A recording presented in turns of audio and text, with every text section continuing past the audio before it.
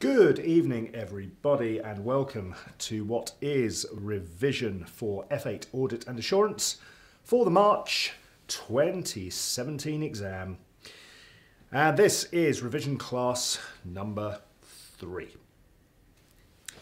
So let me remind you where we have got to in our revision so far. The aim is very, very straightforward with F8. We've got to make sure we've had good practice on as many questions as we can on the three big core areas risk and response, internal controls, substantive procedures. All are coming up whether you like it or not, they are always there. And the reason we practice these, of course, is that there is not a huge amount of knowledge required for any of the three of them. There is a bit of knowledge and a bit of understanding that will certainly help, but the main thrust of it is can you come up with ideas?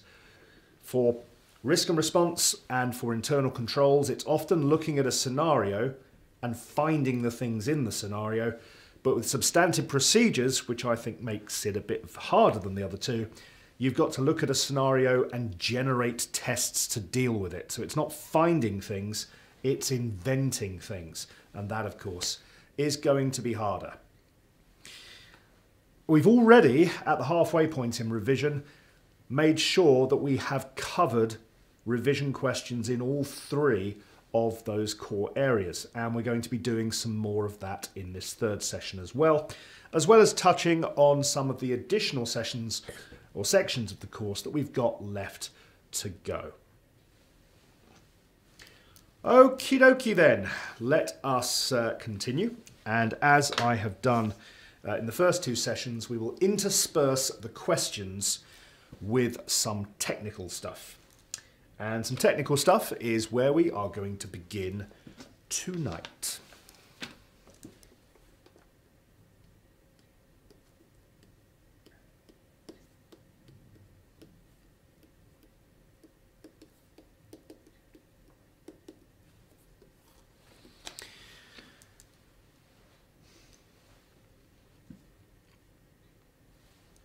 So I have been dotting around some audit standards, some ISAs, in amongst the long questions. Why am I doing that? Well, if you understand the audit standards, it will help with at least some of the MCQ questions that you need to answer. So there's a knowledge angle to this. But also within the three long questions, there are going to be, I would think at least over those three questions, maybe four or five four to five mark questions which will be technical in their nature. And since, even if there's only three of these, it's worth more than 10 marks in total, it's worth making sure that we have a reasonable understanding and an ability to explain as many audit standards as we can. And I think ISA 560 is one of the more difficult ones. Uh, one of the problems with it is it ties in with accounting rules, and the accounting rules are often not known as well as they should be, so there's a technical issue there. And the second issue with it is the beginning of this standard is pretty straightforward, but everyone tends to remember the nastier bit at the end, and then forgets the easier stuff at the beginning.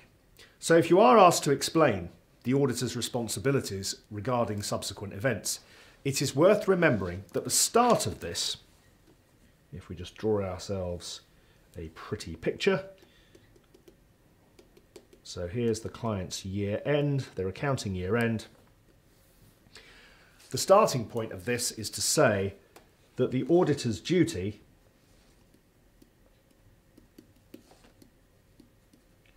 primarily ends when the auditors sign their audit report. So all the way up from the moment you're appointed at the AGM up until you sign the audit report, you are said to have an active audit duty. Now, what does that actually mean? Uh, well, active is doing something, and in auditing, if you are doing something, it is typically that you are analysing, enquiring, inspecting, observing, and recalculating. In other words, you are doing audit work. And of course, once you write your report at the end of an exercise, you shouldn't really have any more duties because if you've written your report, that's game over, isn't it? So your job is to keep actively auditing up till that point. One of the reasons why you have to keep auditing up to that point is that you will have signed your audit report just after the directors have signed off the accounts. And once they've signed off the accounts, that should be it. The accounts, the financial statements, should not be changing anymore. Probably. And if the accounts are finished, you can give your opinion knowing that that's it. So the auditor comes in after the year end and does what is known as their final audit, ending with the signing of the audit report. So just to be clear, we go slightly after the directors sign the accounts. Uh, and one of the reasons why we have to wait until after they've signed the accounts is one specific accounting standard. Now let's take this carefully. The accounting rules tell the directors what to do in preparing the accounts. The auditing standards tell us auditors what to do in our audit process. So accounting rules. And the relevant accounting rule I'm thinking of here is Accounting Standard 10, Events After the Reporting Period, EARP. And IAS 10 says that some of the things happening in that red period there after the year end are potentially going to change the accounts for the year that has just finished. Because those events can be adjusting, and if they're non adjusting, they might still require to be disclosable in the financial statements of the year that has just finished. So in here is what I'm talking about. And because uh, IAS 10 uh, defines EARPs as events in between the year end and when the directors authorise the accounts for issue, which they do by signing them, those events potentially changing last year's accounts are still going on until the directors put their signature at the bottom of the financial statements. So we must keep auditing because those events are going on. They're happening as we are doing our work. And any of them could, in theory, be adjusting or disclosable. Now, I think that bit is relatively straightforward. Relatively. It's the second bit of the duties which then gets a bit complicated. The point is that those financial statements are not totally final until the annual general meeting when the shareholders vote on them. And that creates a potential problem. Before we look at the problem, let's go back to the duty. Because we still have a little bit of duty left up until the AGM because the accounts are not quite yet final. And this duty here is known as passive. Meaning, we don't have to go looking for trouble, but if anything happens and we are told about it, we've got to do something about it. And that creates the potential for fun. The fun being, what if a material mistake is discovered after both the client and we, the auditors, have signed everything off. Well, if it's before the AGM, the directors really ought to do something about it and correct it. If they refuse to do that, we will go along to the AGM and tell the shareholders that a late mistake was discovered, too late for us to do anything about, and the directors have decided not to change it in the accounts, which is really wrong. The interesting thing is what happens if they do correct it.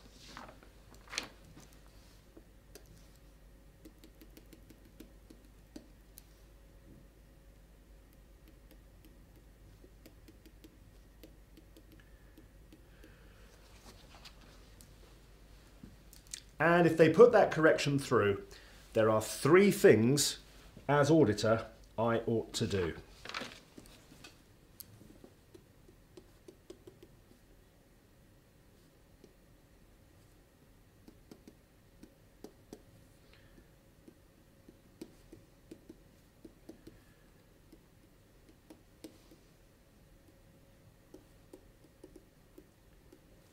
Sure first is the best word there actually. Let's make it the original.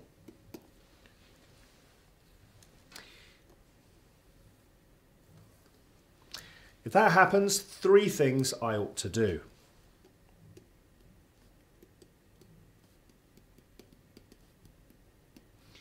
Number one, if they've made a correction, let's make sure they've got it right. Number two,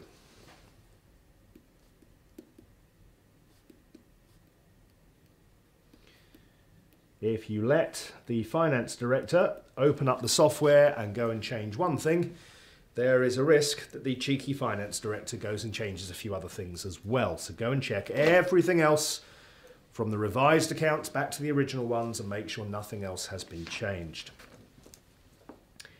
And it's the third point, which is probably technically the most confusing. Because I've just said make sure they've made no other changes but maybe they need to make other changes.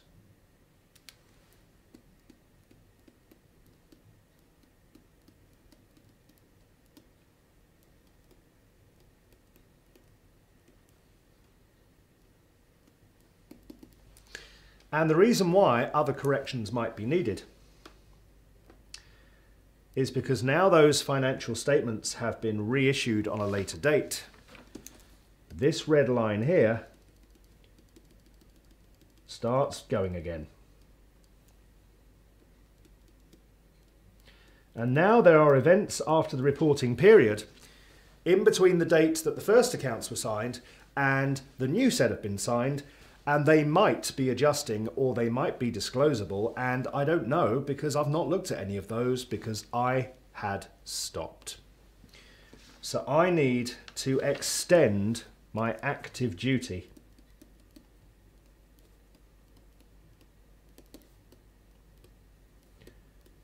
By testing what has taken place since I initially signed my audit report because there might have been additional adjusting or disclosable events after the reporting period that took place in that time.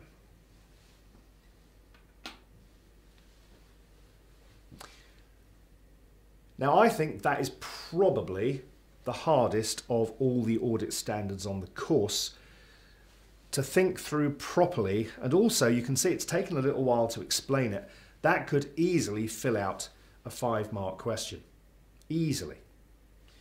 So it's one of those where it's worth thinking, not writing it out in full necessarily, but trying to picture my diagram or maybe even reconstruct the diagram yourself to help get it into your head, just in case. Wonderful. Well, there's a little bit of technical revision to warm our brains up in this third session, but now we really ought to continue onwards and take a look at another question. Now we've been working with substantive procedures most recently, so I'm going to start with another substantive procedures question, but we're also going to do some more work on internal controls tonight. Uh, I think therefore a good starting point would be to go and look at the March, June 2016 paper so relatively recent one, of course, uh, start of uh, last year. And we're going to take a look at question number three.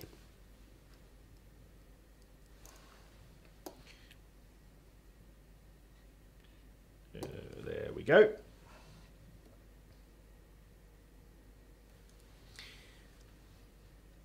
Uh, and there in the middle of the screen, you can see the requirements. As always with uh, this exam, with any exam really, read the requirements first, understand what the question is all about, and then let's have a technique, and then we read the story. And it says, for each of the two subsequent events described above. Now be careful at this point. Those who've got the technical knowledge might be tempted to see the word subsequent events and start detailing everything I've just done up on the screen. Wait for it. It doesn't say explain subsequent event responsibilities of auditors. It says, based on the information provided, explain whether the financial statements require amendment. Which means you're being tested on your accounting knowledge.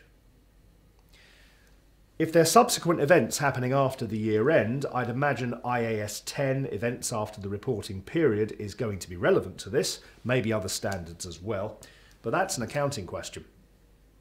Part 2.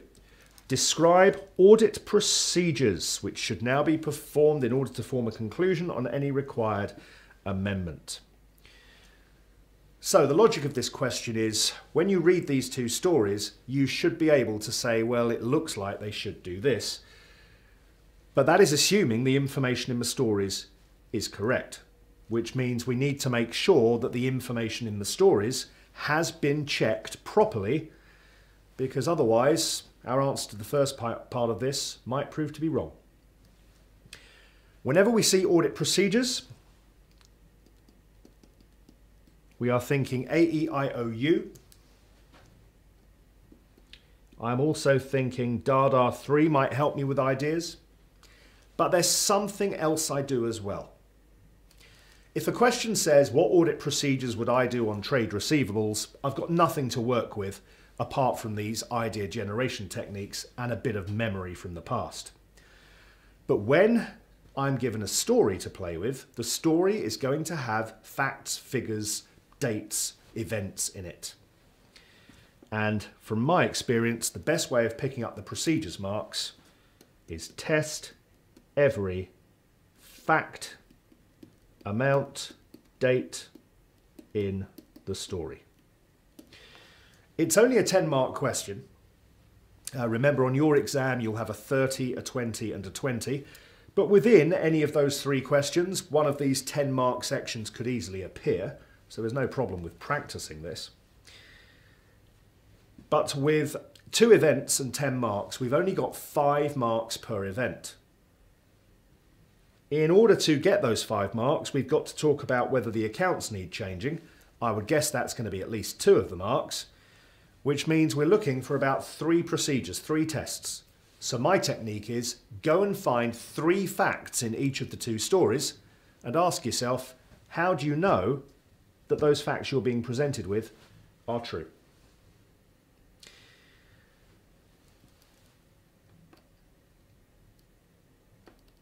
Okay, here we go then.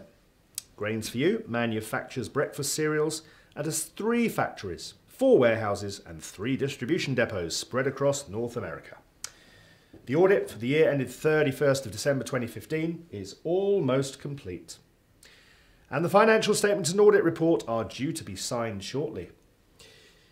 Now, that would suggest that some audit work might have already taken place on the two things we're about to read. So we'll be careful when we read this, because if it says your audit staff have already checked this by doing this, you won't get marks for them writing that as a procedure, because it's done already. Profit before tax is 7.9 million. And I would imagine the reason we're being told that is because it allows us to assess the materiality of what's going on in these two events. And that's important because the accounts only need to be amended for material things. So there must be one mark in each of the two stories for calculating how material things look and then forming a conclusion as to whether they are material or not. The following events have occurred subsequent to the year end, and no amendments or disclosures have been made in the financial statements. So for now, the accounts do not reflect these two events at all.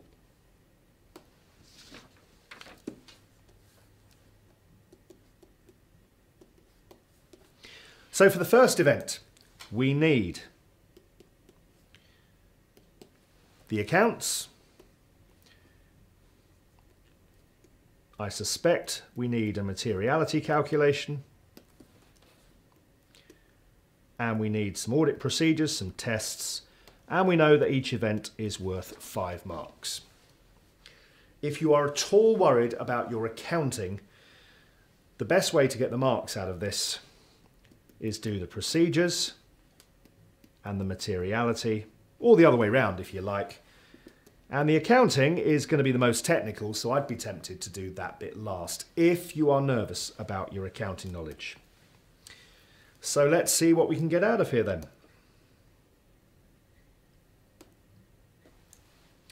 So profit is 7.9 million in the accounts as they currently stand. Uh, on the 15th of February 2016, so after the year end, a fire occurred at the largest of the distribution depots.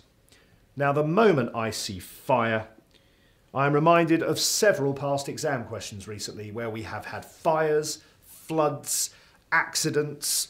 Uh, what else have we had? Earthquake, I think. And I know that all of those are non adjusting events because they are all sudden events. They are not a previous story carrying on, which means they've got nothing to do with December the 31st when no such fire had taken place.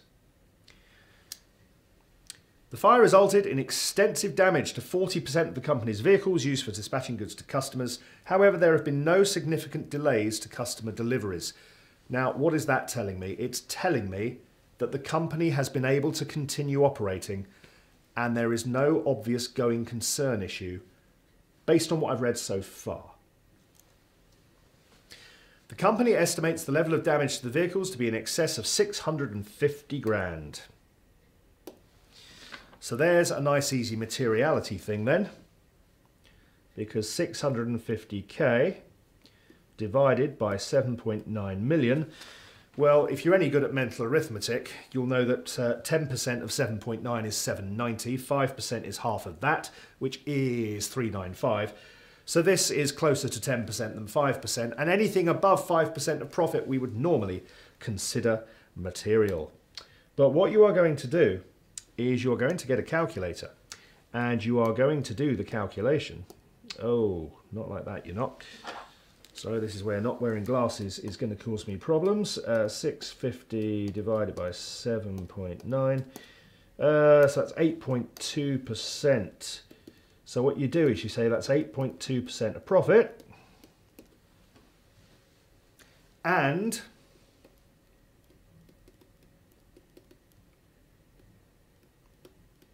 that that is a material loss to the company. Now, that is assuming it is a loss to the company. If they've got insurance, it may well be the fact that they're going to get all this money back, and as such, no money is lost.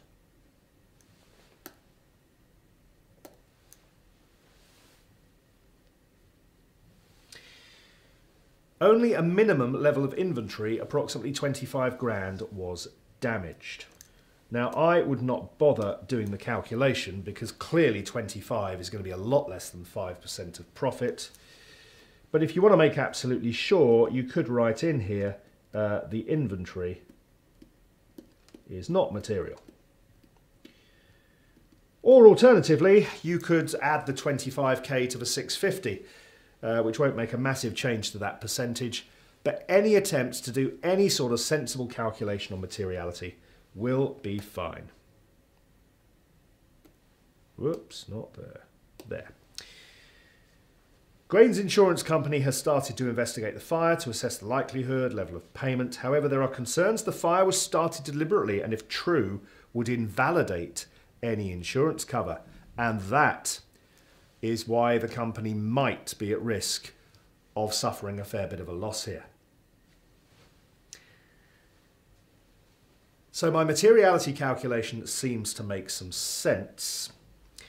I need to talk about the accounting, but it's so much easier to get the procedures marks. Just test everything it says. Now I'm pretty sure that this question came up in the March sitting of the paper. Uh, given the year ends the 31st of December, I doubt that would have been a June question. So if it's currently March, and what, about two weeks ago, there was a fire, how would I know that there was a fire? Well, one thing I might want to do is visit the site of the fire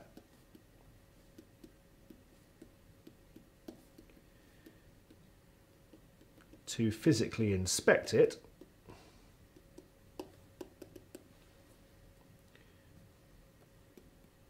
Now the only thing that's making me worried about this is they might have already cleared it up.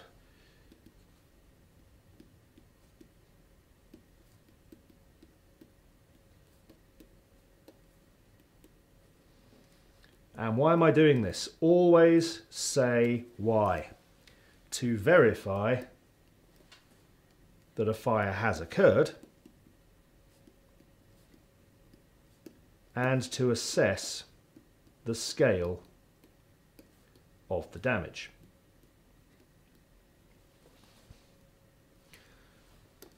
So remember how this paper tends to be marked. Half a mark for suggesting a valid procedure, half a mark for giving a valid reason why you're doing it.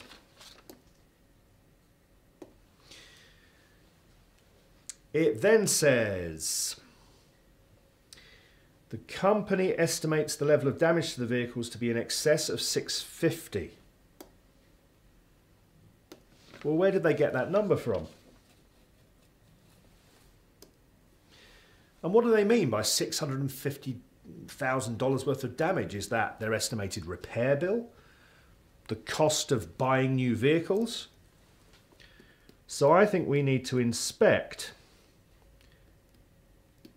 a copy of the estimated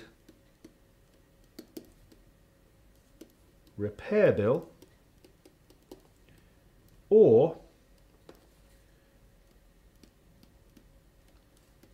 a proposed order of replacement vehicles, because I'm not sure which one it is.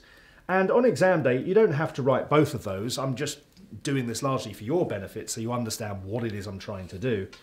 And as always, to verify the $650,000 estimate appears valid. I could also check on the inventory side of things, but because that is an immaterial amount, I think it's less worth checking that. What else does it say? Uh, Grain's insurance company started to investigate concerns, fire, deliberate, etc. How do I know what the insurance company is doing, what they are thinking? What I do is I inspect correspondence with insurer. Again, to assess, to verify, something along those lines. The likelihood they will pay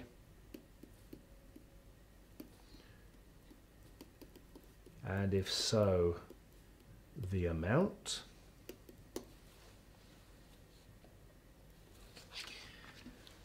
And since there is a suggestion there is an insurance policy, and also a suggestion that if this was deliberate, it would invalidate that policy, I suppose I might also inspect the insurance policy. Just confirming everything I'm reading in the story. To confirm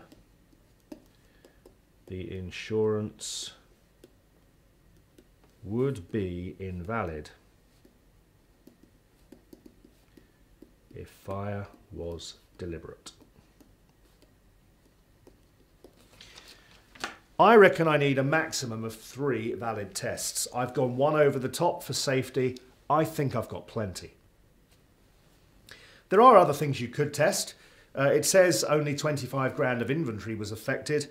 Uh, AEIOU, analyse, probably not. E, enquire, I'm likely to ask the staff who work at the site to confirm uh, the damage that they have seen. I might read the board minutes because after a big fire, the board would discuss it and surely they would talk about the damage that has occurred, wouldn't they? So, board minutes could be another source of evidence on this, as long as you are specific and don't just write read the board minutes. Read board minutes to verify details of the damage which the directors have discussed. Should get you a mark because you're being specific. So I say go for the materiality and go for the procedures. And then the accounting side of things, well, if you get this wrong, less of a problem. Because what you really need to write is that the fire is a non-adjusting EARP under IAS 10 because the fire in February 2016 gives no evidence of damage existing at the year end, which was the 31st of December. It's irrelevant to the company's year end position. However, since it is material,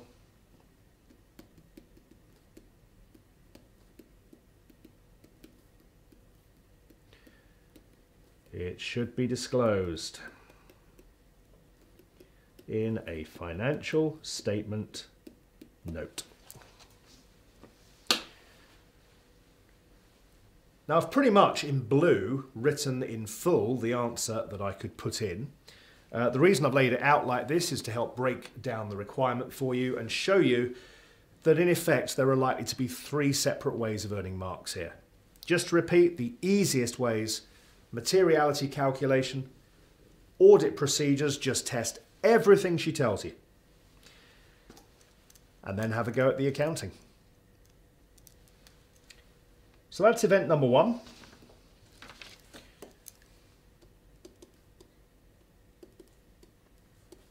Let's now look at event number two.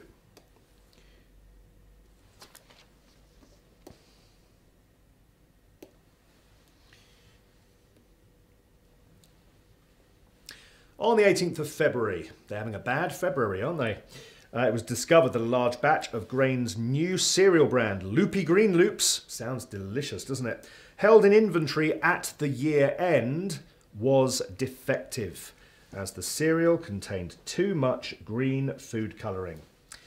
To date, no sales of this new cereal have been made. Well, that's a relief, otherwise, you'd start getting sued by Americans who are turning green because they've eaten the wrong cereal.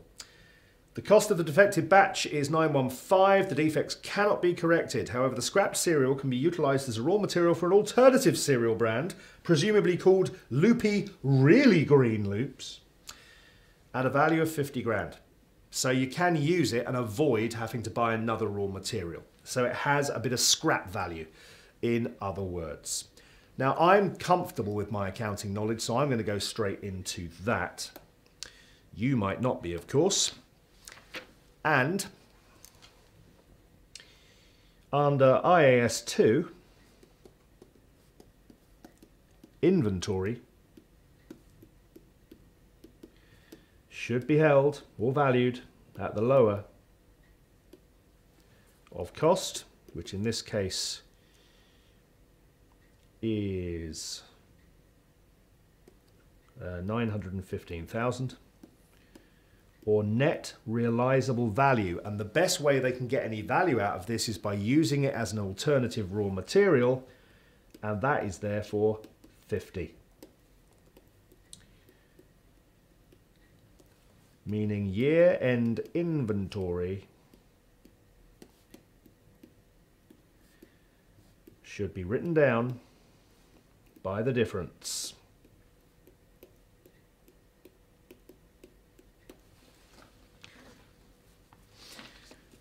Now, I really ought to write something else in addition to that. I'm saying it needs to be written down, but that is not mentioning why it needs to be written down. I mean, we know it's damaged in February. The point is it was damaged at the year end. So I would write the inventory was unusable as at year end.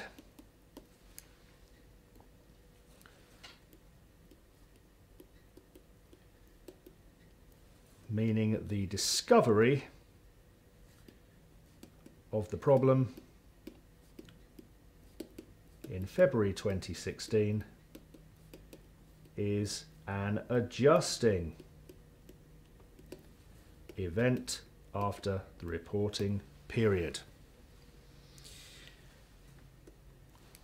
Again, let me repeat.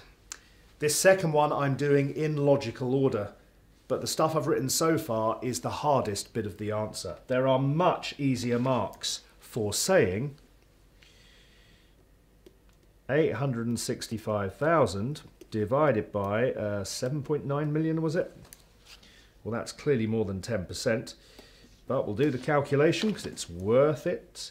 865, whoops, divided by 7, 9. It's 10.9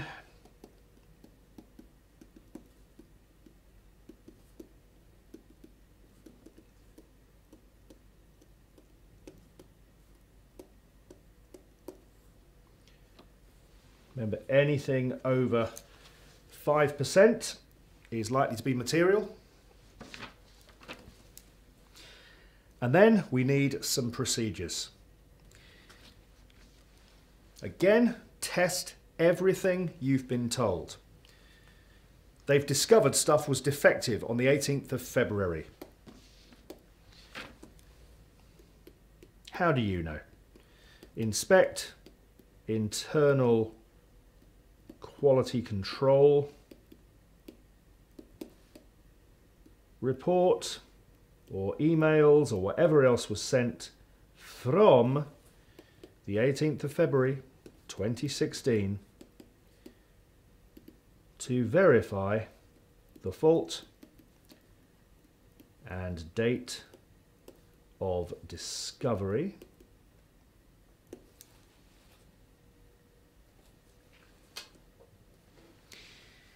It also tells you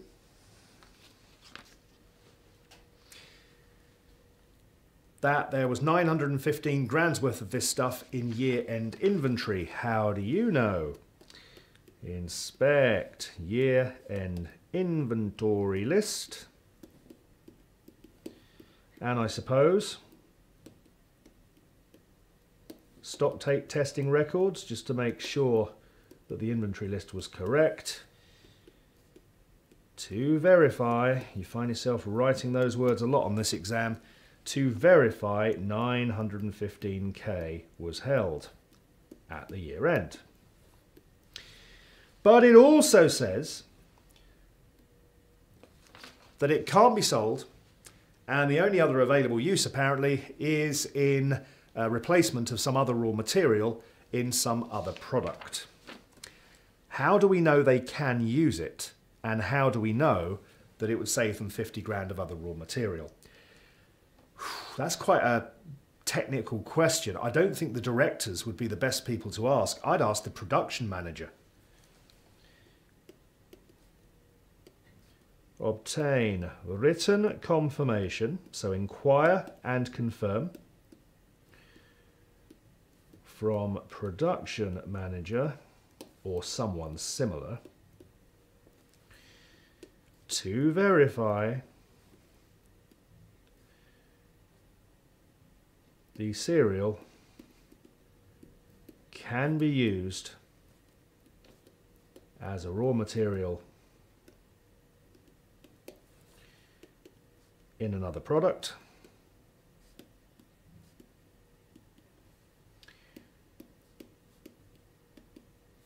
Add a value of 50k and I suppose now I want to go further and check that 50k figure is right.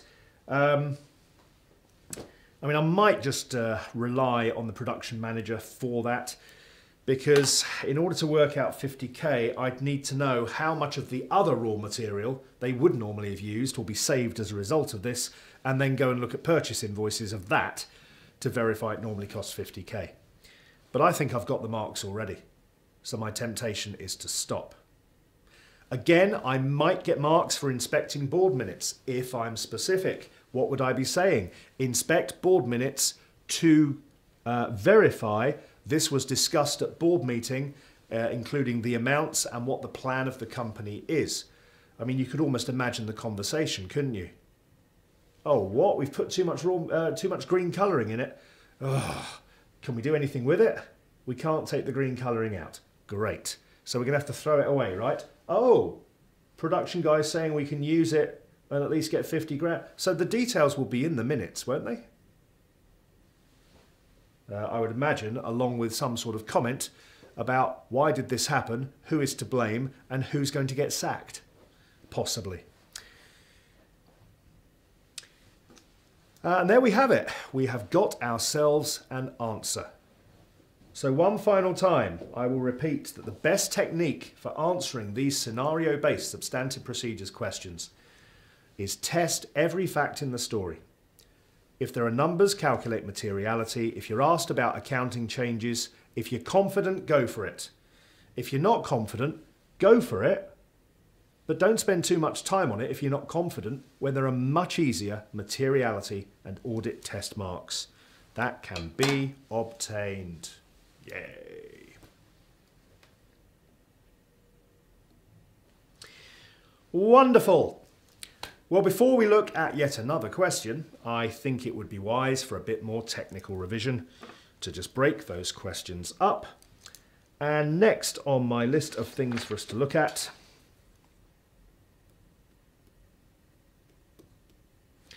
is a reminder about computer controls.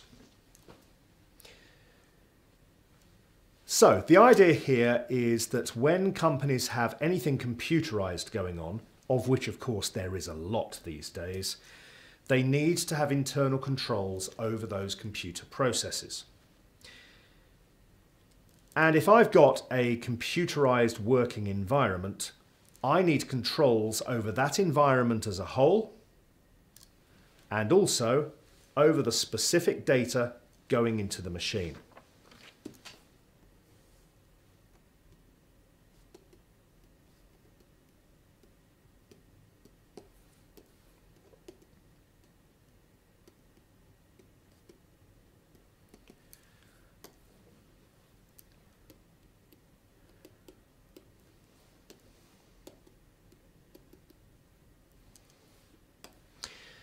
And controls over the computer environment are called general controls. Controls over the data are called application controls.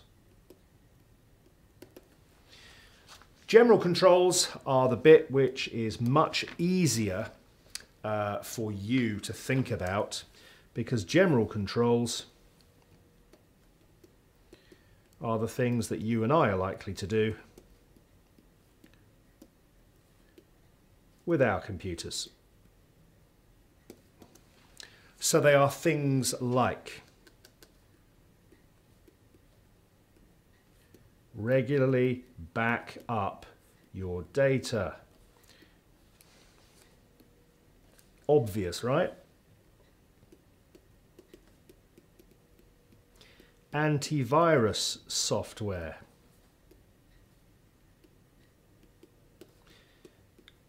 Now, maybe you don't go on training courses, but when Windows bring out Windows 10, Windows 11, you've got to update yourself on how to use them properly, haven't you? So it's things like that. Application controls, I think, are harder because this is about the actual data in the machine, which means it's controls happening within the software you use, which you probably don't get to see much of. They are things like making sure that all the numbers in a numbering system are present.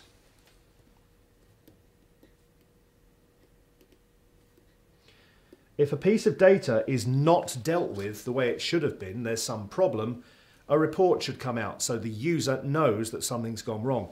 Easiest example I can give to you of this is when you send an email and you type in 25 email addresses because it's going to lots of people and one of them bounces back. The bounce back is an exception report so you know there has been a problem.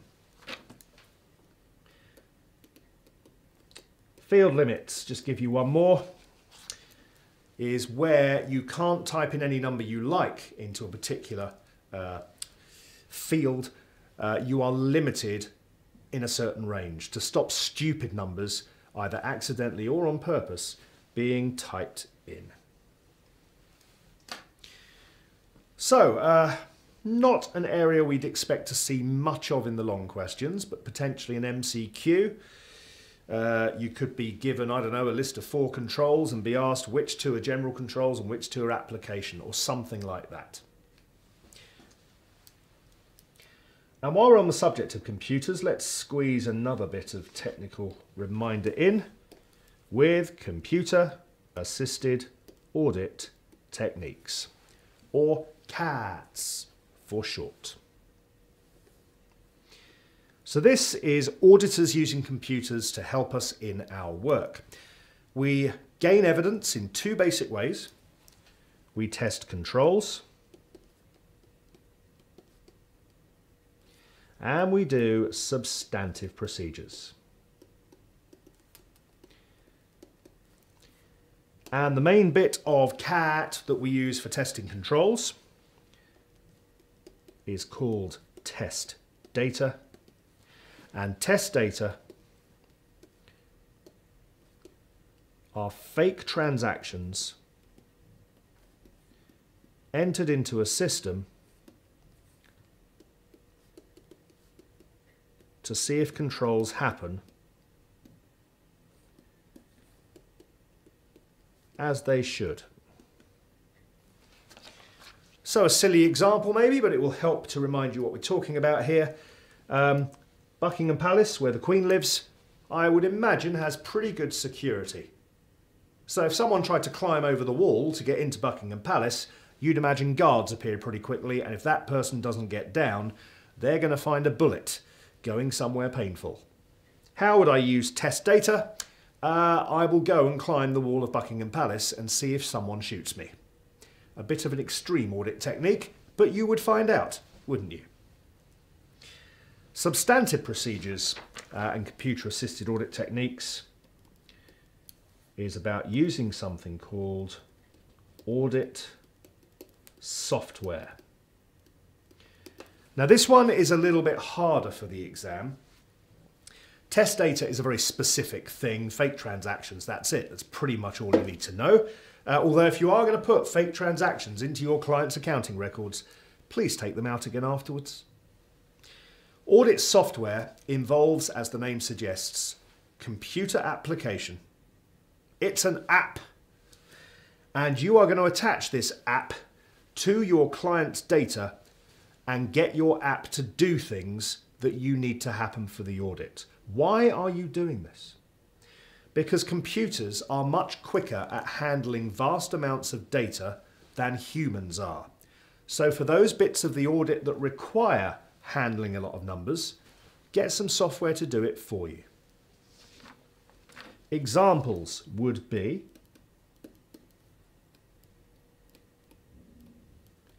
reorganizing the client's data. Now that might be as simple as listing all the assets, not in the order they're on the asset register, but by value. So you can focus your testing on the more valuable ones. Or you might do by date of purchase because you want to focus your efforts on the newer assets or the older assets.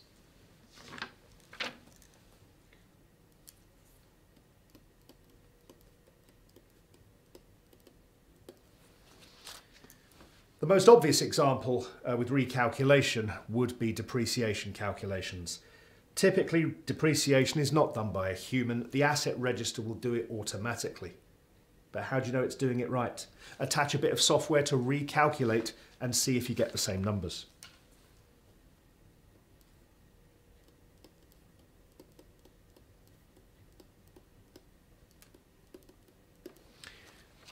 We have talked about doing things like uh, receivables days. And if receivables days are going up, that tells you that customers are taking longer to pay, suggests a bad and doubtful debt issue. Likewise, inventory days going up suggests that inventory is selling more slowly and might suggest an obsolescence problem.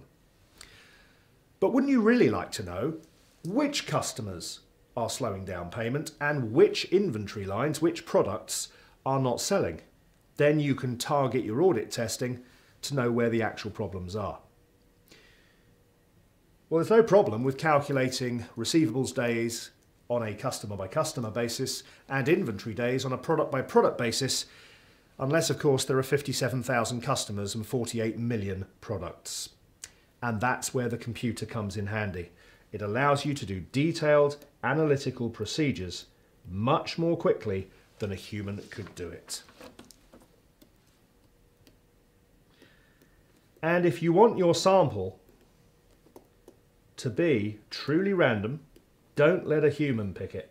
Let a computer do it. If you want to pick a sample selection where you pick all items that have a particular feature, get a computer to do it. Again, uh, email uh, provides us with a very simple illustration of that. I sometimes think, oh yes, I sent an attachment, but I don't know who I sent it to. Well, what do you do? You go and search through your emails for every email that has an attachment on it. Or maybe I know that within an email I mentioned a particular topic, so you go and search all the emails that have just that topic mentioned. It's the same stuff. It's the power of computers to make our lives easier. So that is computer assisted audit techniques. And having done some technical revision, I do declare it is time for us to have a go at another exam question. And the next one I have on my agenda, I think, is this one. Yes, it is. So the next one we're going to look at is December 2014. And we're going to look at question number five.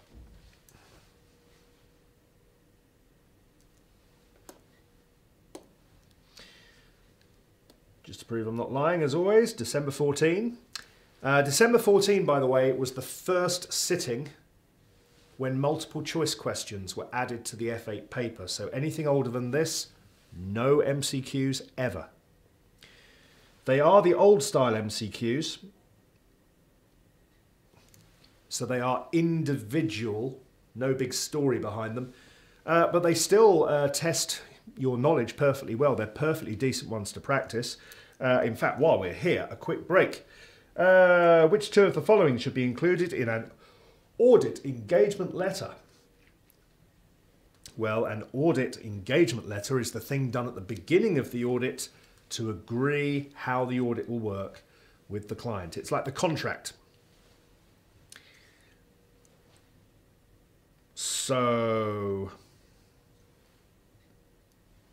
what the audit's going to do well, that sounds like something we need to agree at the beginning. And any contract agrees the responsibilities of both sides. So 1 and 3 are looking highly likely. Results of previous audits doesn't go in an engagement letter. The results of previous audits goes into an audit plan to help the auditors know what things have happened in the past that may well happen again this year. That's about the audit work. It's not about how you'll do the audit. Uh, need to maintain professional skepticism is something that you tell your audit staff. So again, it's not something you'd be talking to the client about. Uh, so the answer has to be B, and that to me looks like a fairly easy question. Common sense. But that is not why we are here. We are here to do a long question. Number five. As always, we go straight to the requirements first and we see we've got 16 marks of something and 4 of something else. Let's start with the 4. Describe substantive procedures. Right, it'll either be a balance or it will give us some sort of story. the auditor should perform to confirm Hummingbird Co.'s revenue. Well, maybe the story will tell us how Hummingbird earns its money. And if it does, the story will give me some help. But at the moment, I have nothing. All I know is a sales revenue figure. So what I do is I say sales revenue, profit or loss, which means the assertions I'll need to be targeting for profit or loss item are going to be completeness, occurrence, cutoff, classification, presentation, and A, the accuracy of the numbers.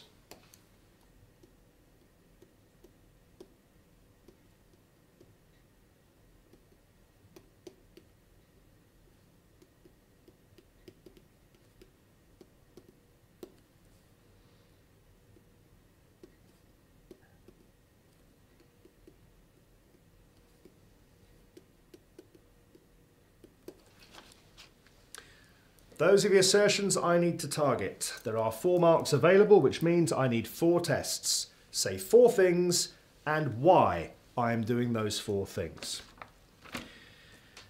Not all the assertions are necessarily going to generate that many ideas. And I'll tell you now that presentation and classification are unlikely to get me very far with revenue. The ones you want to target always are completeness, the opposite of completeness, which is occurrence for the profit or loss or existence on the statement of financial position, and anything to do with the numbers.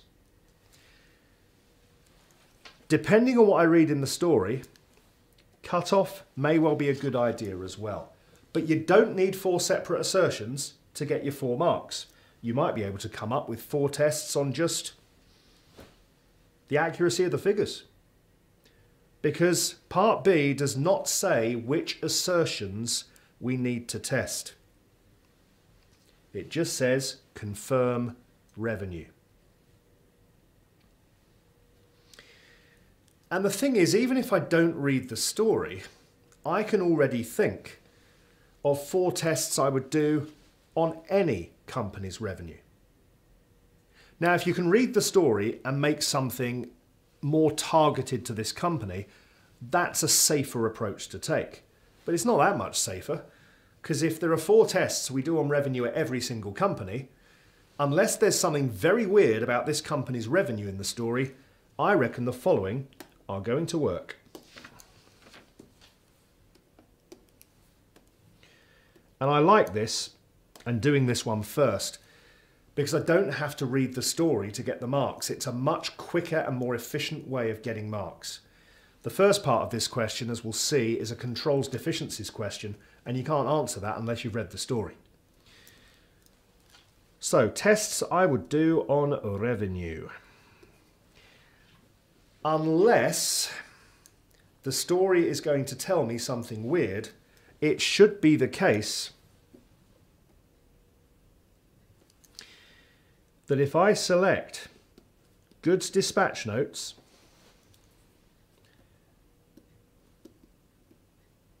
from through the year,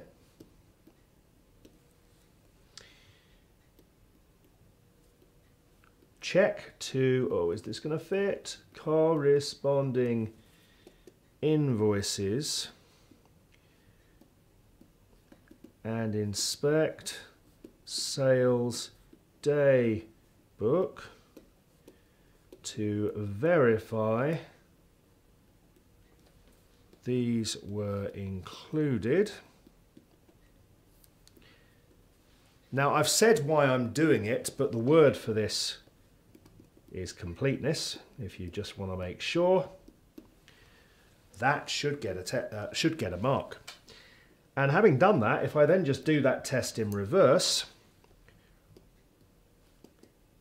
select invoices from, I should have written SDB, shouldn't I? Sales day book. Let's do that in case I want to write it again. I can save some time uh, through the year. And trace back to uh, goods dispatch notes to verify items were sent to customers because that's typically proof that you have earned that revenue.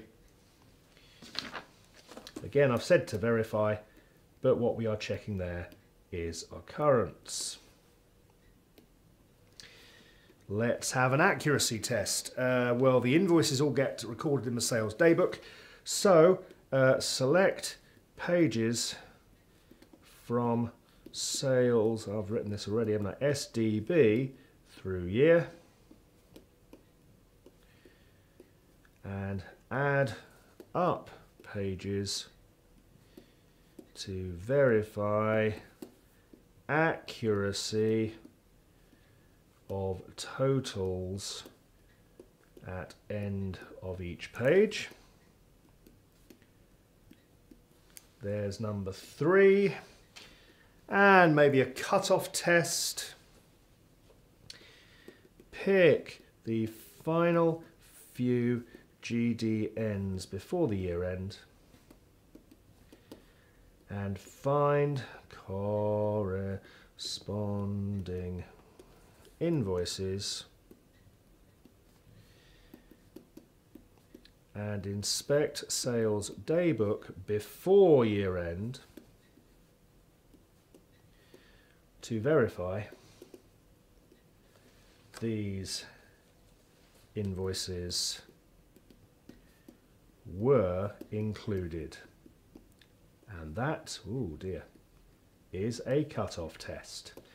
Likewise, checking the goods dispatch notes after the year end against the invoices to make sure the invoices were not included would be another cut-off test.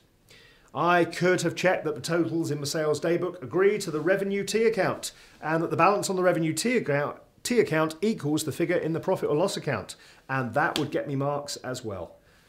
Uh, I could pick out a few invoices and make sure the calculations on them are accurate. Uh, you know, the VAT's been properly separated from what is the net revenue, um, stuff like that. I could check post year end credit notes to see if any pre year end sales were then cancelled after the year end. Loads I can do because I've practiced this. And if you've practiced it, you get pretty good at it fairly quickly. As they say in Russia, povtorenia matsugenia. Repetition is the mother of education.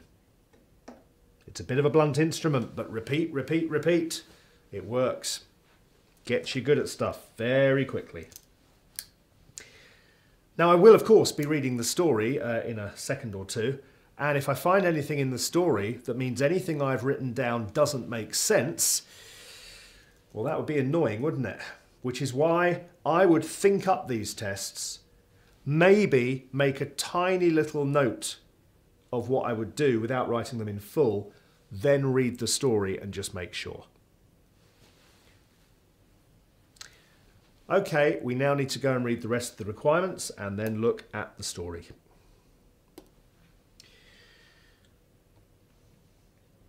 Part A, as the external auditor of Hummingbird, write a report to management in respect to the sales system described above, which identifies and explains seven deficiencies and provides a recommendation. And a covering letter is required. That's why it's 16 marks. It's 14 for that and 2 for the covering letter. Now that makes the covering letter really annoying because it's going to take probably more time than you would like to get the letter done because you actually have to write a letter. The good news is it's a totally standard letter, so if you know what goes into it, it's a very easy two marks. It just might take you slightly more minutes than you would like. Let's do the letter first.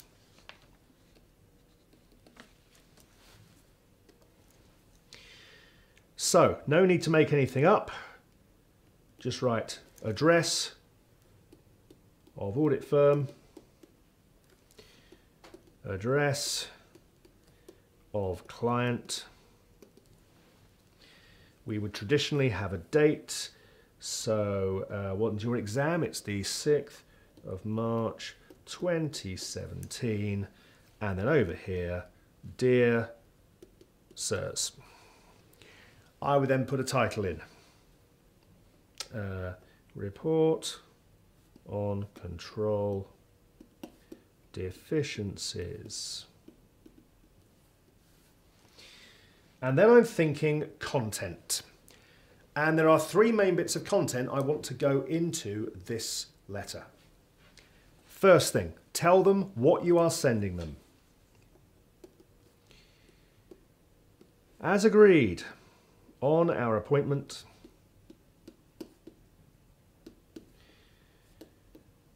we now enclose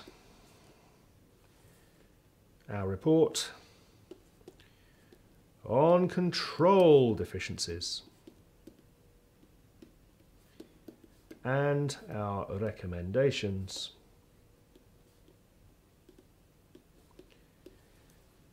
To deal with these,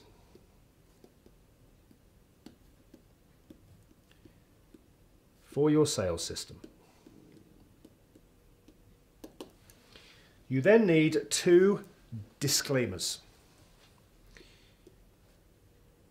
Please note these are only the problems found while we audited your financial statements.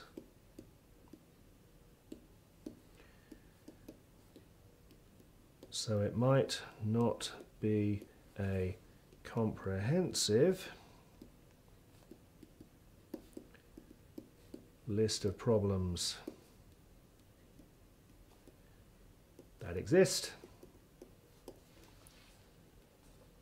And secondly, this report should not be shown to anyone outside the company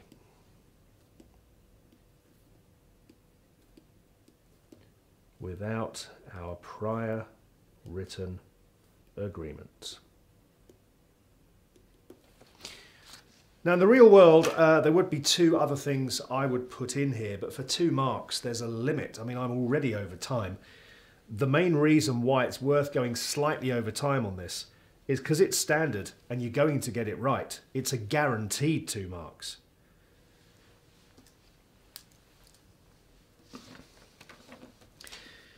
Um, other things I could put in, uh, a request for them to respond to the deficiencies in our recommendations as to whether they plan to put these recommendations in place or not, and a thank you for all the help their staff gave us during the audit. But if you want to sign it off at that point, kind regards, auditors. And there we have it, one covering letter.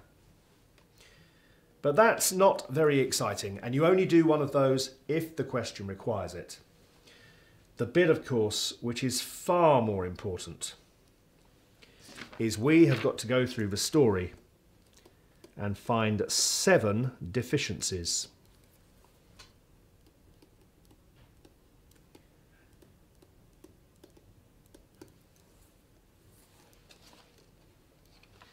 And then recommend improvements. Before we do that, let me remind you of some tactics at this point. I'm guessing you will find most of the deficiencies you need, but just in case, we look out for the word not, because if they are not doing something, I'm guessing they probably should have been. We look out for what clerks are doing, because clerks should be doing low-level stuff and not making any decisions. We look out for things that are being done manually, because maybe they could be automated. And we look out for things that appear to be done verbally because maybe they should have been documented. Recommendations. When it comes to making our recommendations, the only real thing we need to be careful with is don't just repeat the deficiency in reverse. The company does not check this. Recommendation, check this. No, that's not going to get you credit. You need to add something. Try to say who could do it, how they could do it, when they could do it, maybe how often they could do it. Just add something. My advice, as you know, is to read the whole story through, see how many deficiencies we can find, and then pick those that we are most comfortable explaining and we can come up with a sensible recommendation for. And when we talk about explaining them, explain them in terms of the potential damage to the company.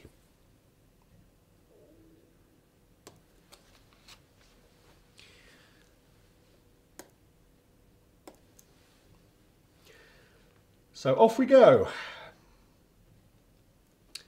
Hummingbird manufactures and sells luxury toiletries. They've been trading for over 20 years, year end 30th of September 2014. Hummingbird sells products to trade customers via its own website. This is 60% of revenue. Remaining revenue is generated by contracts to supply toiletries to hotels. And you would imagine if you're supplying toiletries to hotels, you think of all the little things you get in the hotel rooms. Uh, the hotels might be ordering as and when they need stuff, but there's every chance there's just a regular delivery sent because they'd be using stuff pretty much continuously, wouldn't they?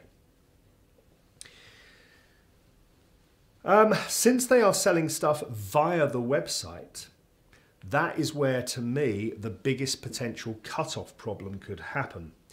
Because if that website recognizes the sale when the order's being placed, but the goods haven't been sent yet, well, they're recognizing the sale too early.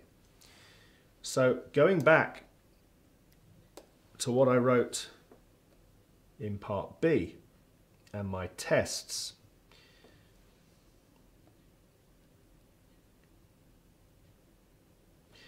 In my last test, when I'm doing cutoff, I might want to add in here, especially for website sales. That shows I've read the story and I'm not just writing down every test I can think of, so I am trying to apply it at least. And that would be the biggest danger.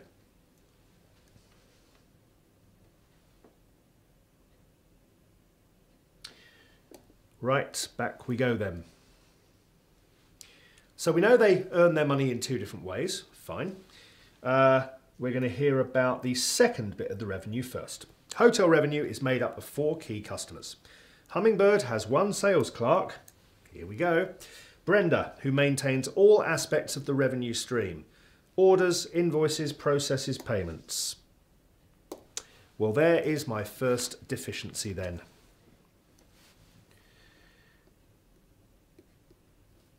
there is a lack of segregation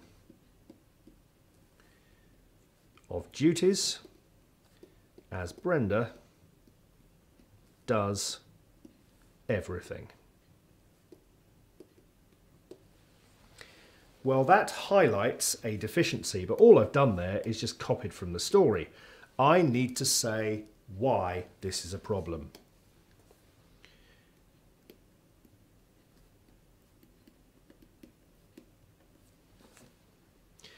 So what could she do? Well, she could do all sorts of things. This is a sales system, which means she could be inventing fake sales and then delivering stuff to her own home. She could be doing deals with customers, special deals, and then splitting the difference between them.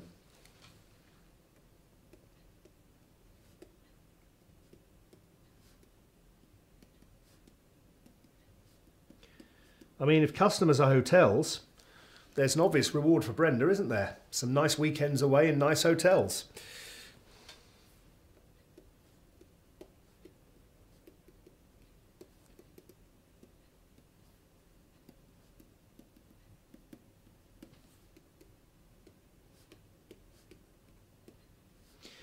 Now, of course, what I could have written is Brenda could be committing fraud. But the word fraud encompasses so many possibilities. So if you can add a bit of colour to it and actually give some examples, all the better. Now at the moment, I'm not going to make a recommendation because there's no point saying her work should be spread amongst other staff until we've read the story and have some idea as to whether those other staff exist. If this is a relatively small company, they might not have any other staff. So let's just hold fire because the recommendation will partly be impacted by what I read in the rest of the story. Just get ahead of ourselves a bit here.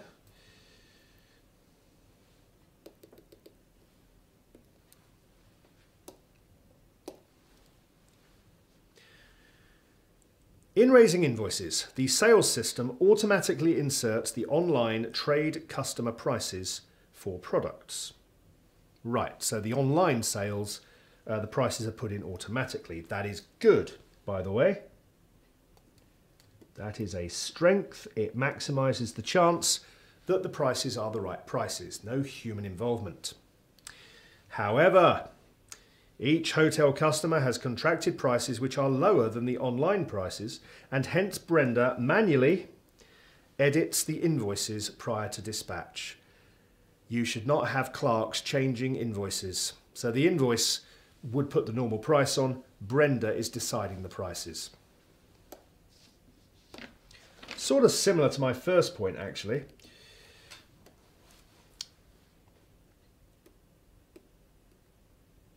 So Brenda, manually, changes prices for the hotel customers.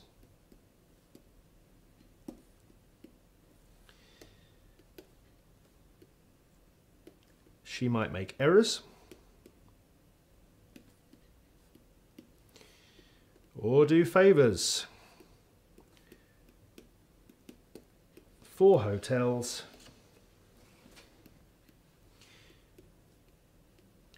by charging less in return for free hotel stays.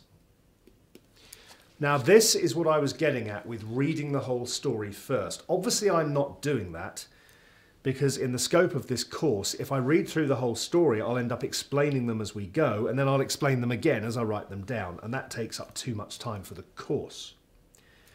The danger with doing them as you go is I'm now looking at my first two and thinking, are they separate enough?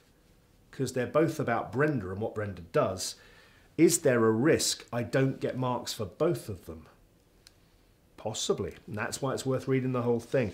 Uh, but now I've got this one down, uh, when it's manual, the obvious solution is automate. There's only four customers. So I would say that the website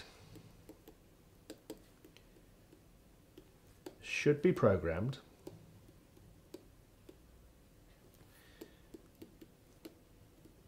Such that each customer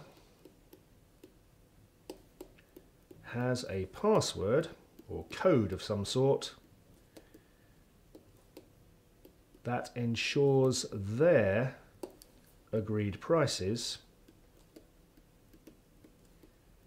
are automatically applied to their invoices.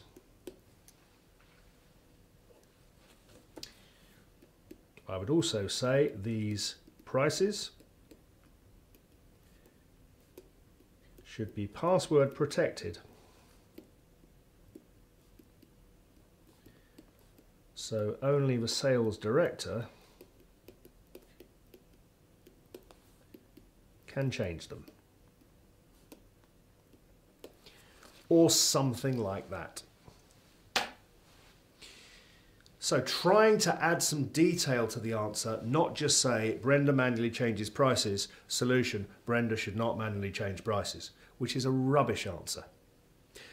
This question could have had a third section that then said, uh, what control tests would you do on your recommendations? How would you know that the prices can only be changed by the sales director's password? Answer, test data. Try changing the prices with someone else's password, like Brenda's password. Uh, how do you know that prices are automatically applied to invoices? put in a fake order from one of these hotel customers and see if it works. More test data. So there we have the first two of our answer. Let's do another one while we're having a bit of a flow. Uh, online revenue. New trade customers are set up in the Sales Ledger Master file upon passing suitable credit checks and a credit limit is set. Well there, if the question had asked for strengths, and sometimes questions do, are some more good things going on. But we don't want good things for this question, we only want deficiencies. Uh, credit limit is set at this stage. At this stage. I think that's a subtle hint that we're not going to hear anything about credit limits ever again, meaning they're not being updated over time. But let's wait and see. Customers place online orders up to their preset credit limit. They receive an email confirmation and the sales order interfaces into the dispatch system, Ooh. presumably checking that you've got the goods in stock. The order number is linked to the customer account number. Okay. Uh, that makes me slightly nervous that the order number is not in a sequence because different customers, if it's linked to that, it wouldn't be sequenced. But the ones I'm looking at here, I think are a little bit less obvious. So I'm going to keep going, look for easier ones. Uh, goods are dispatched daily with a goods dispatch note, which is reference to the sales order number, but are not, there we go, sequentially numbered. Hummingbird used to dispatch goods via a reliable national courier. However, to reduce costs, they've changed to a cheaper local courier, and some orders have been delivered to customers late. So there we got a couple of things to deal with. GDNs are not sequentially numbered and the cheap courier company is delivering things late. So if GDNs are not sequenced, explain the consequences. If any GDNs are lost, there is no sequence gap to tell company a GDN is missing.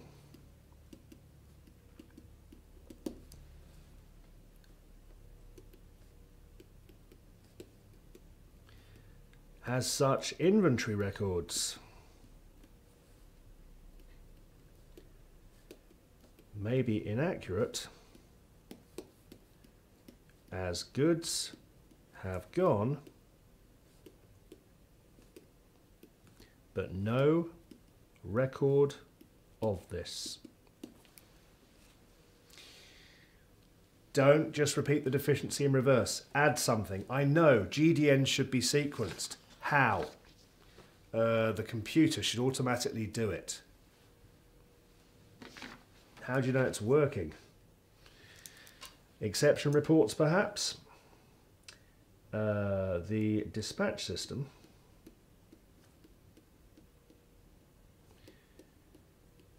should automatically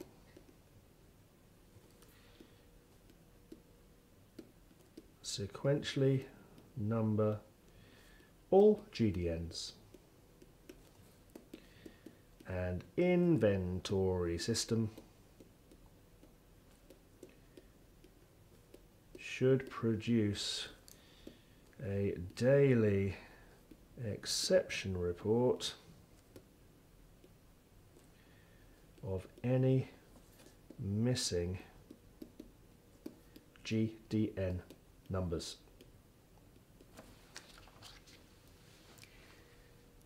There are many ways you can earn the marks in these sorts of questions. Your recommendations are going to be very practical and there could be many correct recommendations. So just trying to make sure you're adding some detail and some value so you've got some sort of explanation there. And as long as you come up with something vaguely sensible, you'll be fine. And then we have the cheap local courier company. Now, you've got to be common sense here. It's very tempting to say go back to the expensive one. Well, no, they've changed because of cost. So if they've gone cheaper, presumably they want to stay cheaper.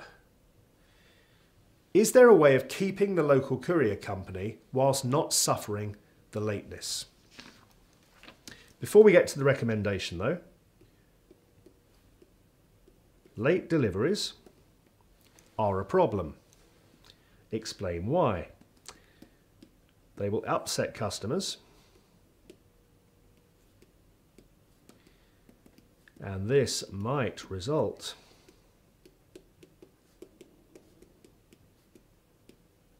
in customers changing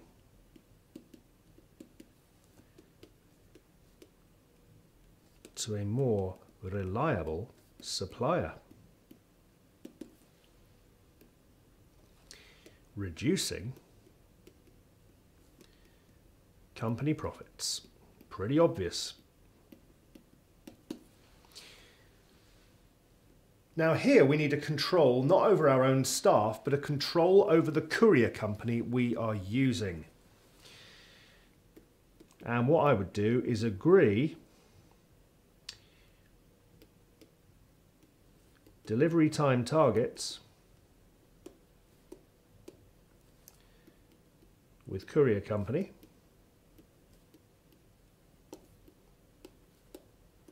and review performance how often? Monthly? Quarterly? Let's go monthly.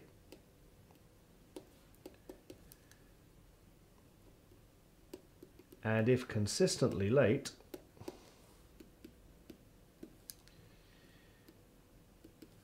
put work out to tender.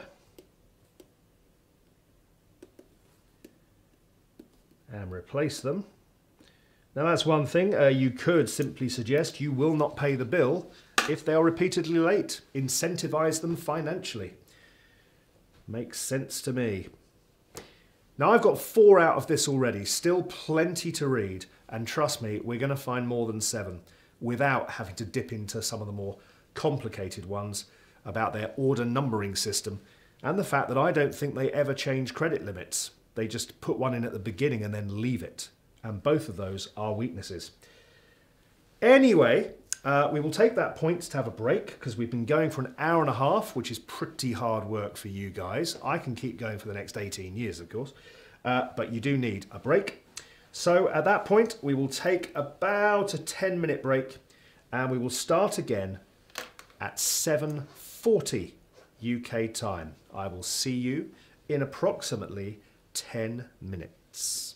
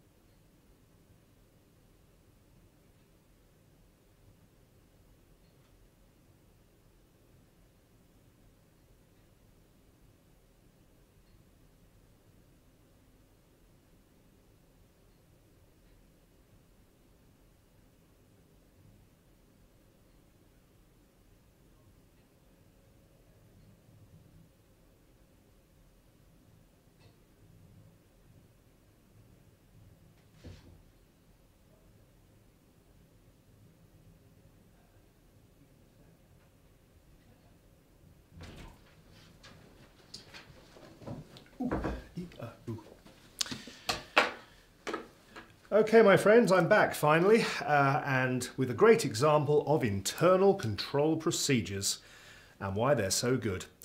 Uh, which is, uh, in order to get back onto the floor where the studios are, there is a key code for the door. Uh, and I got there and had a total memory loss. I couldn't remember what the blooming thing was. So it just goes to show that control procedures work. They keep dodgy people like me out. Anyhow, uh, we are looking at an internal controls question. We've done some substantive procedures, although I'll be revisiting that in a second. Uh, but we're doing the internal controls bit now, the big 16 marker. Two marks for our absolutely standard, straight out of a textbook covering letter, but 14 marks for finding deficiencies, explaining them, and providing recommendations. Just before we go back to the story, there was one that I saw in there about credit limits. Um, I'm not going to write this in the answer because most students wouldn't spot it. Uh, credit limits are set at the beginning in this story. So when a new customer is signed up, and that's good, that's a strength. But as anyone with a credit card knows, from time to time your credit limit is likely to be altered, either up or down, because if you're not paying your bills, they'll want to bring it down because you're a risk. And if you're paying your bills and spending quite a lot of money on it, they may well think that they want to put your balance up to encourage you to spend more and earn more money. So if you don't change someone's credit limit, you're missing out on additional revenue as a company uh, issuing credit, and you're potentially taking the risk of more bad debts. So credit limits should be reviewed on a regular basis by someone senior, or maybe more likely, the computer should have an algorithm built into it so the computer can automatically calculate whether credit limits should be going up or down. But I won't write that one in the answer because most people wouldn't spot it because that's a bit of a hidden one. The story doesn't say credit limits are not then reviewed, it just doesn't bother mentioning it, which makes it harder to spot. So instead, we go back and see what else we can find in the final couple of paragraphs which is more obvious. Trade customers' sales invoices are automatically generated by the system on the day the online order is placed. You see? you see? I told you, potential cut-off problem. And that's why in the substantive procedures for revenue, now I've read that, my cut-off test, I want to refer specifically to the trade customers auditors, trade, yeah, trade customers orders around the year end because of this problem. Now, while I'm on that subject, another substantive procedure that I ought to put in is now that I have read that there are four customers who have specific prices, well, use the story then and pick out some invoices from those four specific hotel customers and agree back to their contracts to make sure the prices are right. Would be another test I could add to that answer, and a good one because it's using the story, not just straight out of a textbook. And these, those are always the safest answers. Always best to use the story if you can.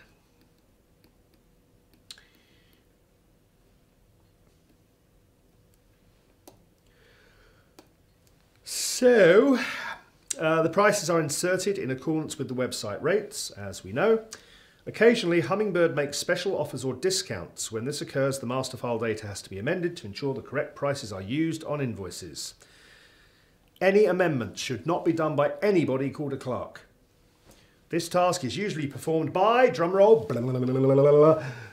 a clerk. Okay, a senior sales ledger clerk. Fantastic but they're still a clerk, and the job of a clerk is to do as told, not be making these sorts of changes.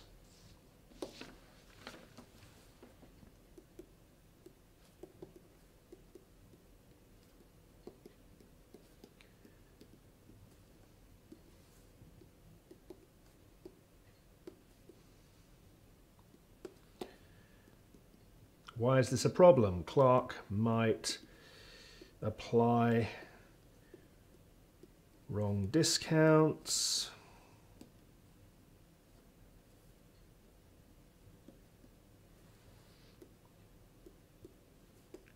or apply them after discount period ended,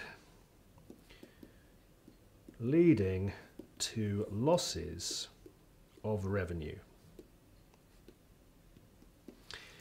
So if you don't want the clerk to do it, who else should do it? Uh, a senior sales manager or even sales director, perhaps.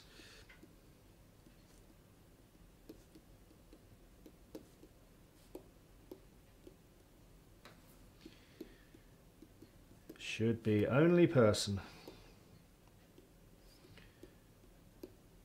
able to make such changes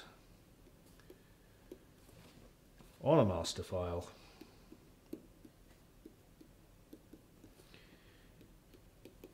using a specific password. Now, again, I'm looking at this one thinking, I'm not sure if I want this in my answer because it's so similar to one of the previous ones.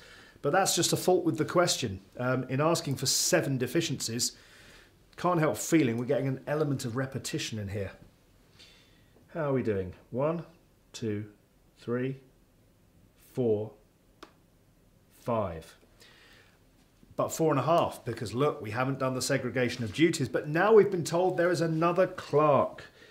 So surely we now write Brenda's duties should be divided between whoops, her and the senior sales ledger clerk or the other clerk being senior could review Brenda's work perhaps. Five down, need two more. One more paragraph. On a monthly basis, statements are sent to the hotel customers. Well, you do that with your customers. You send them a monthly statement, partly to confirm what's happened, but also to encourage them to pay what they owe. A number of trade customers have been requesting monthly statements, and Hummingbird is considering this request. In other words, at the moment, they are not doing this.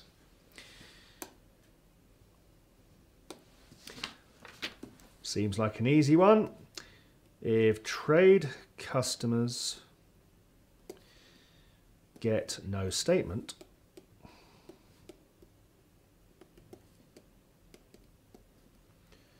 mistakes in company's records less likely to get noticed and resolved. Also, trade company less quick in paying. If no statement prompting them.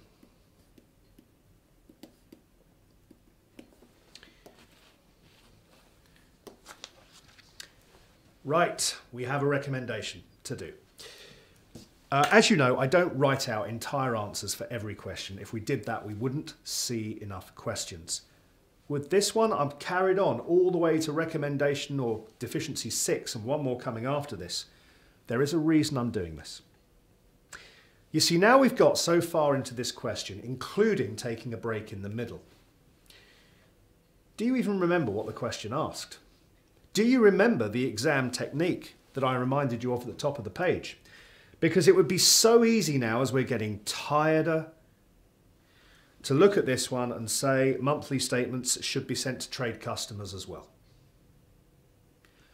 I know, but try to say who should send them or how should they be sent. Well, assuming you've got a computerized system,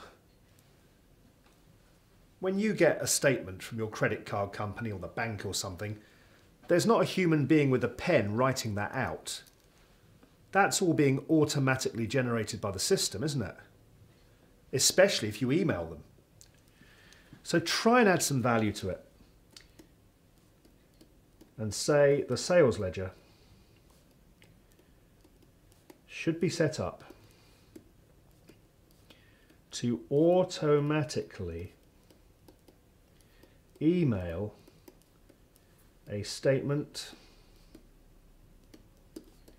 to all customers on a monthly basis. I might even go further and say requesting customers contact uh, this company, Hummingbird, if they have any queries about their statement, and that would help to resolve any potential problems. Six down. I've tried to avoid anything that looks a bit odd or subtle or I'm not too sure, which was the stuff in here, in the middle of there, and just gone for the easier ones. There's one sentence left. I'm hoping this is number seven. The company only reconciles the sales ledger control account at the end of September for the year end balance, which means they are therefore not doing it at other times. And that to me looks like a fairly easy one. What is the reconciliation of the sales ledger control account? That is where you take the total receivables and check it against the sum of the individual customer balances because those should be the same two things. Why do we do that? Uh, to highlight mistakes. So if they don't do it, or only do it once a year, if control account only reconciled annually.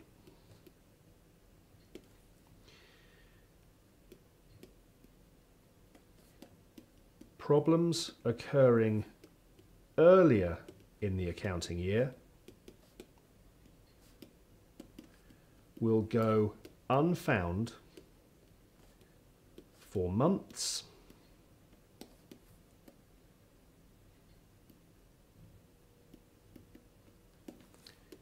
leading to upset customers if it's a mistake affecting them.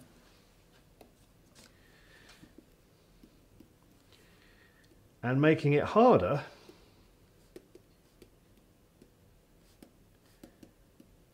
to investigate if problem happened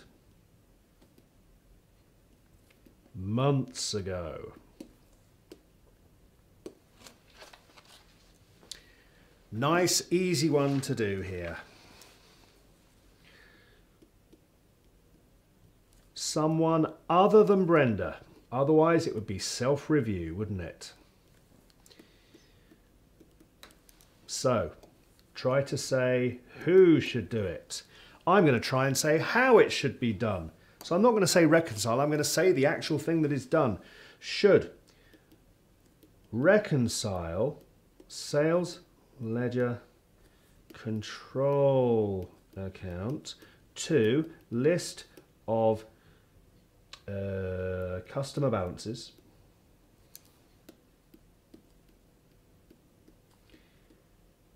Every month end.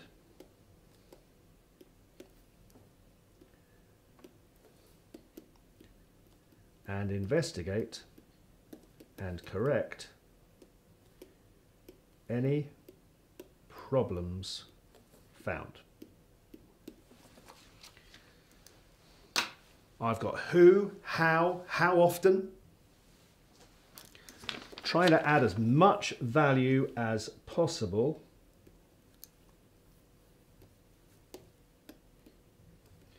To make sure I get a mark in each column each time and not a half. And there we have it. Another question done. Just going back to the substantive procedures for revenue, I took an assertion-based approach and tried to do a test for completeness, a test for occurrence, a test for cutoff and accuracy, as I think those are the four easier assertions for profit or loss items to do. Another approach I could have taken is the AEIOU approach, Analytical is comparing. I could have compared sales to the hotels, especially on a month by month basis, because I'm expecting hotels to have a fairly regular usage of the items that they're putting in the rooms.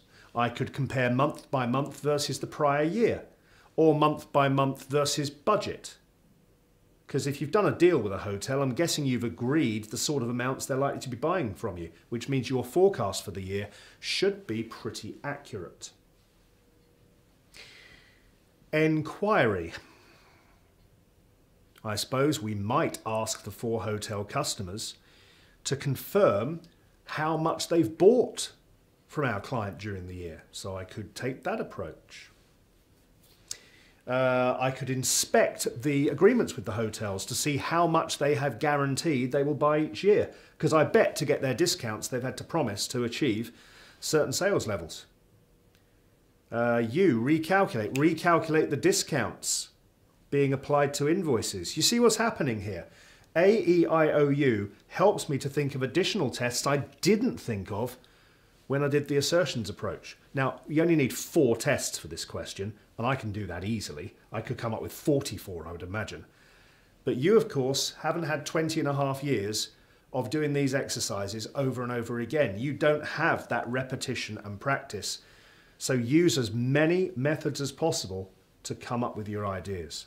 And I've done assertions, AEIOU, and I've used the scenario. Fantastic.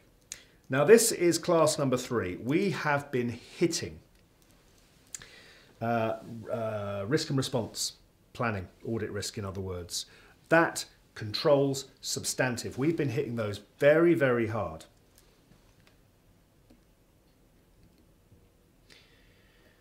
But we're heading towards the uh, end of revision number three, and that leaves us one more. And in revision number four, what have we still got left to do? Because this will be next week, so we're getting very close to the exam now. And I suppose the two main topics uh, we've not touched at all are internal audit and corporate governance. So we ought to have a little look at those tonight before we see another question. Uh, we have looked at audit reports in terms of content and the outcomes, but we've not done a question yet. Uh, we'll save that, I think, for next week. Uh, so let's have a little internal audit and corporate governance stuff before we move on to another question.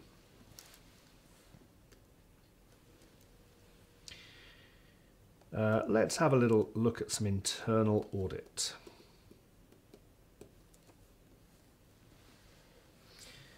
Now this is mostly knowledge, which makes it a far from interesting thing to study, so let me remind you what you're meant to know.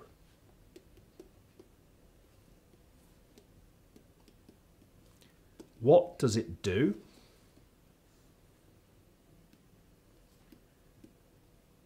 Why is it needed, perhaps? A comparison versus external audit. The pros and cons of outsourcing.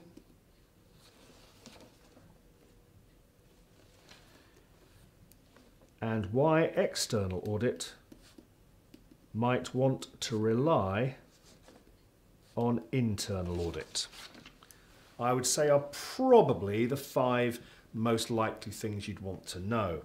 Now there is one particular role of internal audit which I'll uh, be putting up on the screen in a second or two uh, and you are meant to know a little bit about what that role means but we'll come back to that. Roles of internal audit.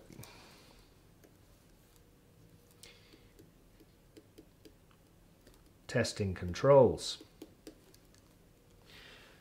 But you might remember when we looked at internal controls that companies need internal controls for five main reasons.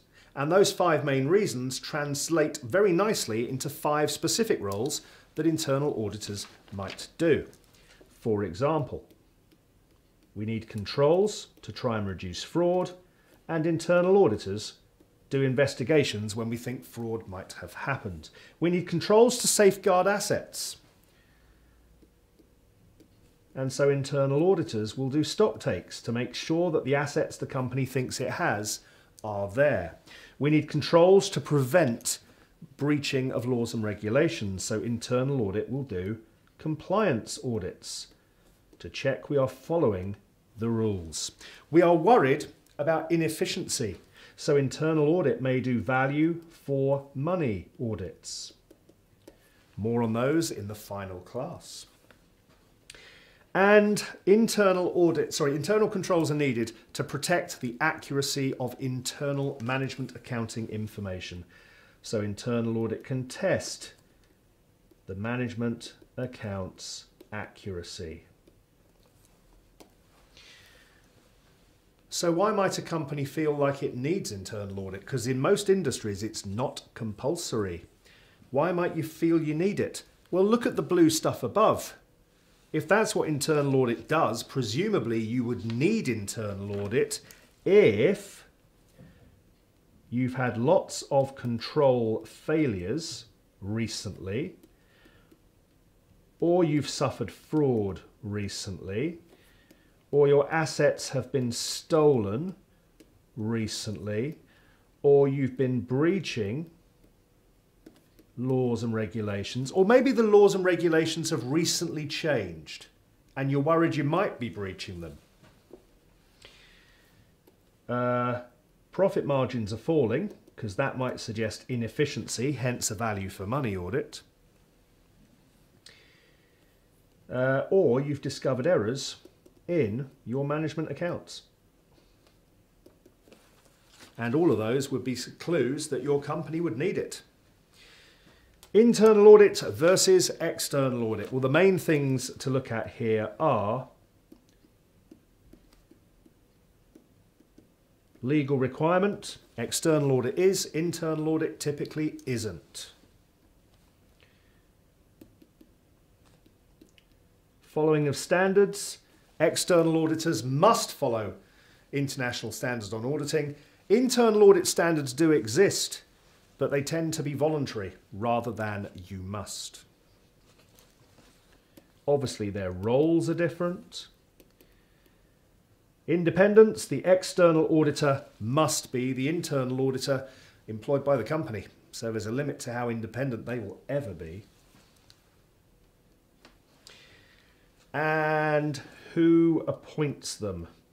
Now, at the end of the day, if it's a listed company, the audit committee will be heavily involved in both but shareholders are the ultimate employers of external auditors, whereas the board of directors can choose its internal auditors. Pluses and minuses of outsourcing. Well, we're going to be meeting that in a question, if my memory is correct, in the final class. Uh, so I'm not going to write anything on the screen at this point, otherwise we just end up repeating ourselves. But come on, you know the pros and cons of outsourcing anything. I mean, take a simple example. Uh, you could uh, iron your own shirts, or you could outsource it and have them dry cleaned and get someone else to do it for you. What are the benefits? Well, if you're rubbish at ironing, someone else does loads of it, you get their expertise, you get well ironed shirts. Hooray! What's the downside? You've got to pay for it. It's probably cheaper if you do it yourself. Another downside, you've got to wait. If you need a shirt ironed today, you iron it yourself. If you can wait a couple of days, fine, outsource. Another problem, confidentiality.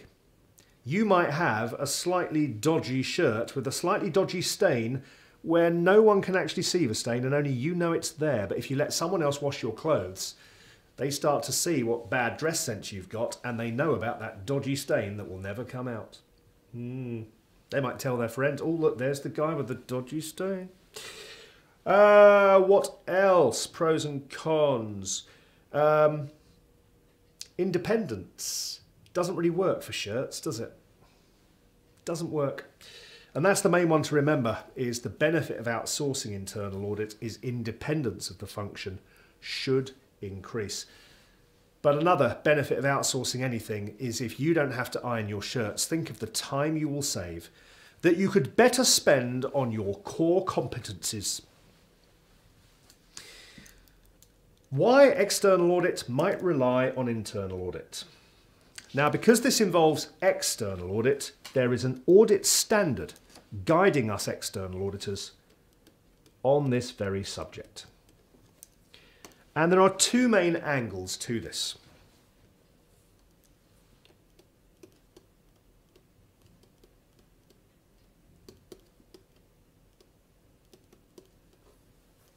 The external auditor needs to test the client's controls. But internal audit have been doing that all year anyway. So do we really need to test stuff again when someone else has already tested it? And the answer to that question is external auditors can use internal audit results from these tests, but only if you think those results are reliable.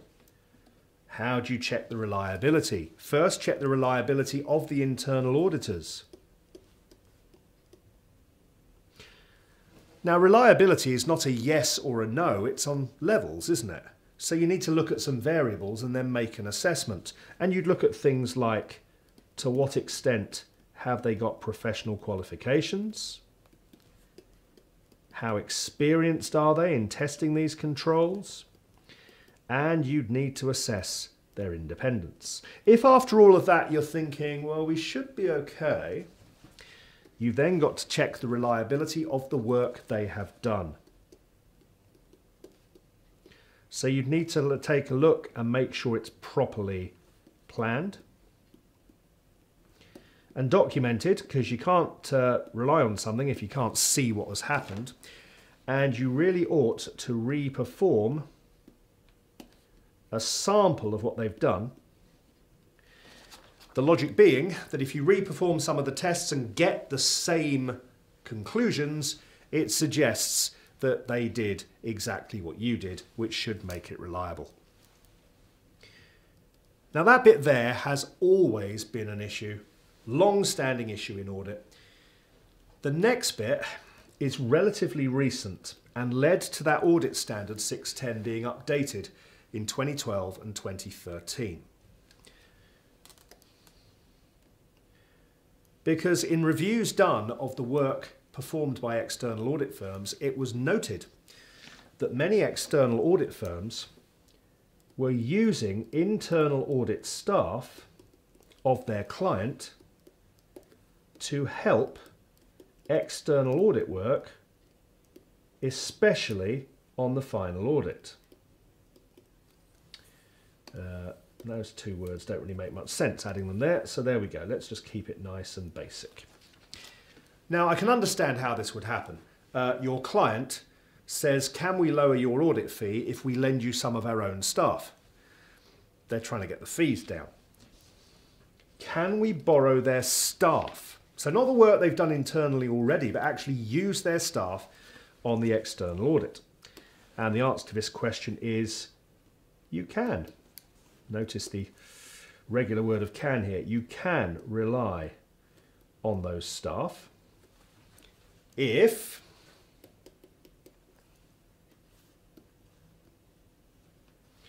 they appear to be reliable.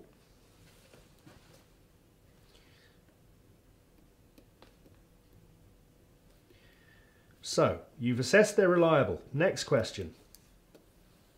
Why don't we just get them to do the entire external audit and we can all go home? No, there needs to be a limit. What work can they do? And the answer is low risk, stuff that does not require thought and assessment, so nothing subjective.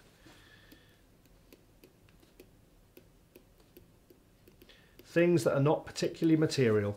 So basic stuff. Don't get them assessing things like provisions, contingent liabilities, uh, intangible assets, or anything else which requires professional assessment. That ought to be your responsibility.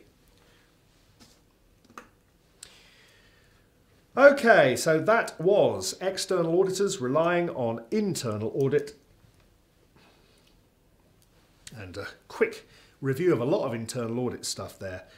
Let us now go look at another exam question. And I think we should have a look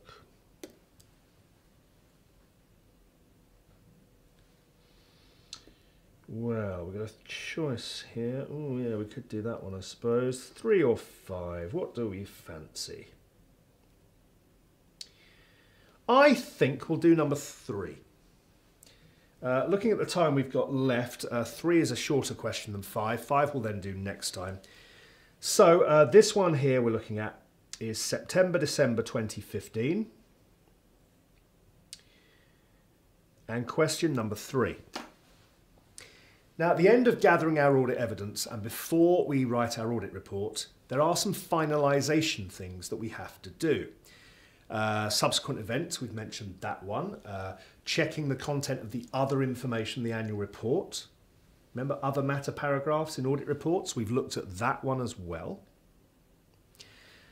But one which can lead, as you can see here, to around about 10 marks a practical question if she really wants to, is going concern. It's not a subject which I get that overexcited about because the questions tend to be relatively straightforward. There are two main skills we need. The ability to spot things in a story that suggest a company is in trouble. And that's what part A of this question is about. Five things in the story that suggest trouble. But because she's got to tell you those things, they're going to be there in the story. They can't be hidden from you. So trust me, finding five things in here that's a problem is not going to be a problem for us. And then part B, describe the audit procedures. Well, we know what that means, don't we? A-E-I-O-U, getting evidence about D-A-D-A-3. And if you've got a story, anything in that story that looks like a going concern indicator is something we probably want to test.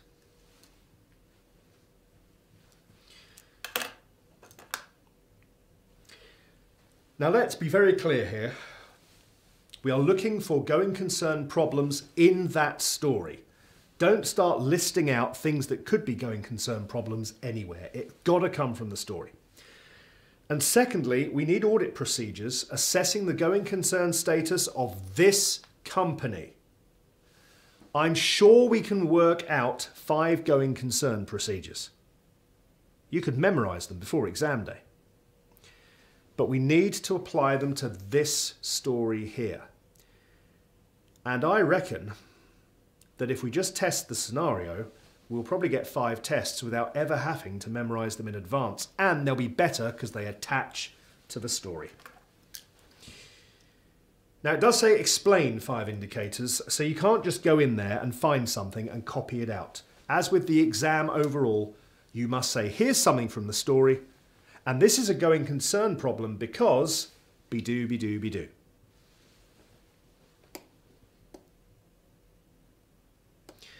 Now, possibly with this one,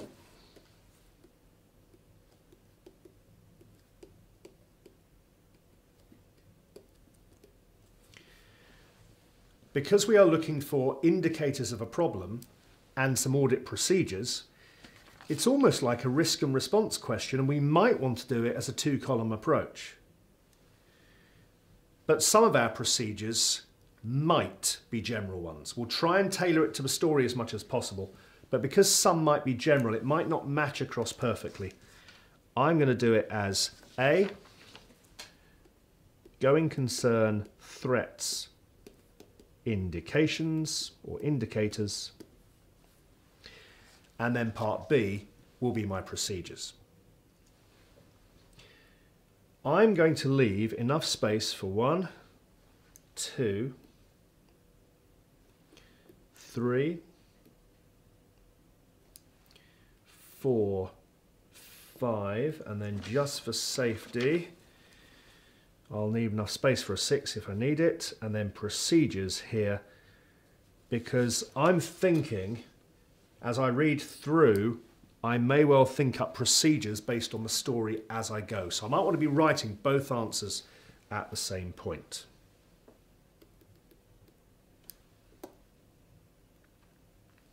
Oh, there we go.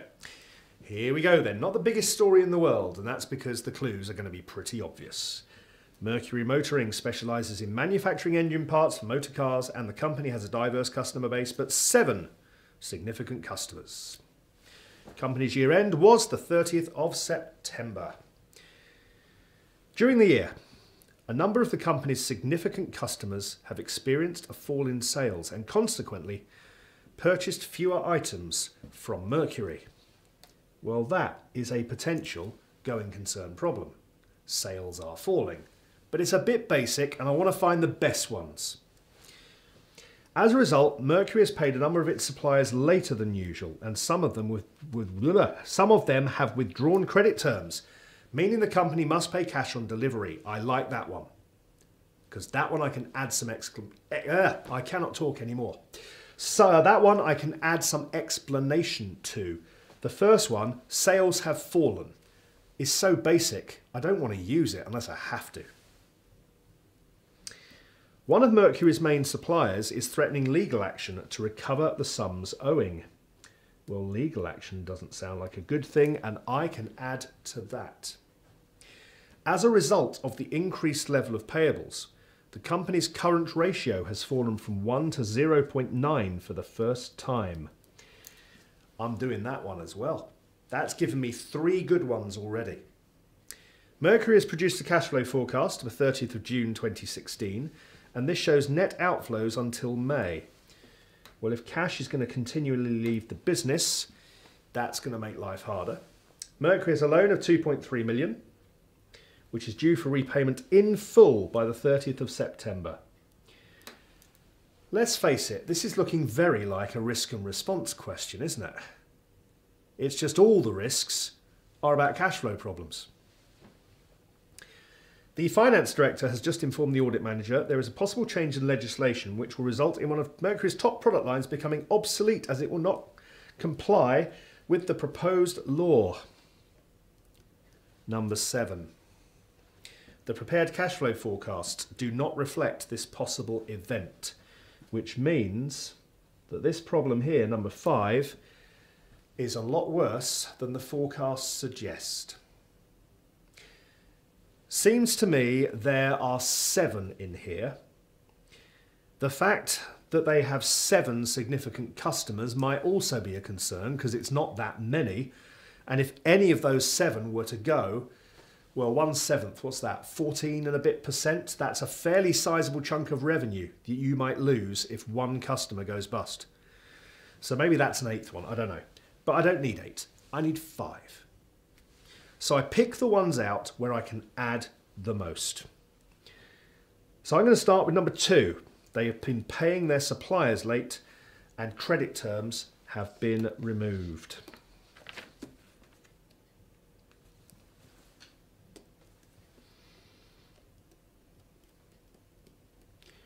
So the loss of credit terms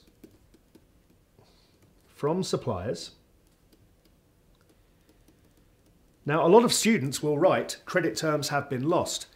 The danger is that's the end of a sentence and you stop writing. I'm going to use the information rather than just restate it. The loss of credit terms from suppliers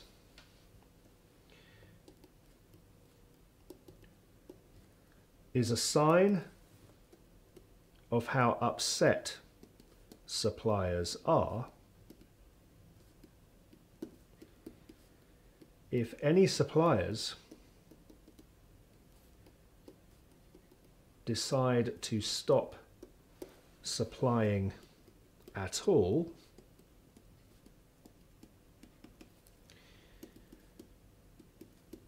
it will be hard to replace them.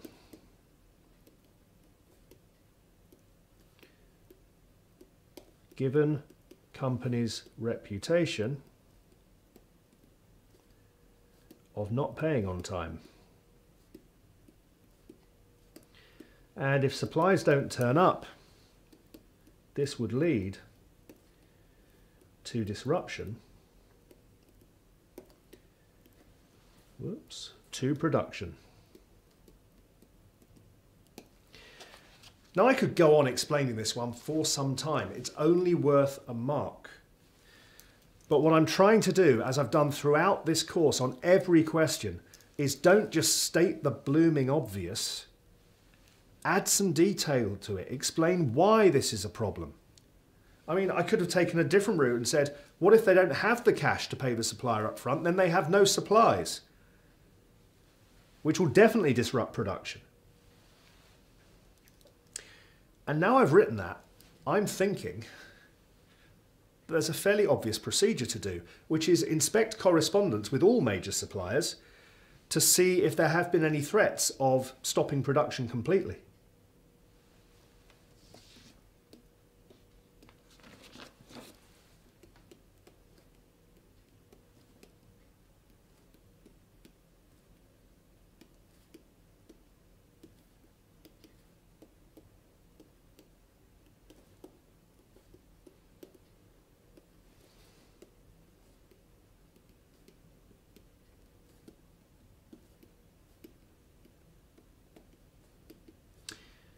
To remove all supplies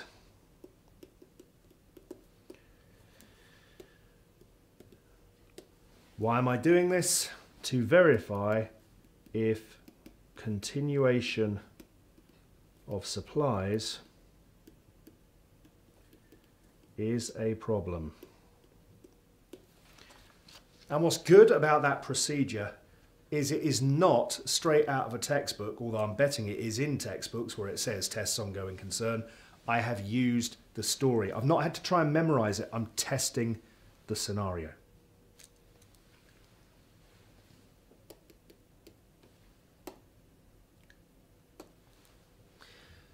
I like number three, legal action. That could cause you problems, couldn't it? So, going concern threat. If the legal action is successful,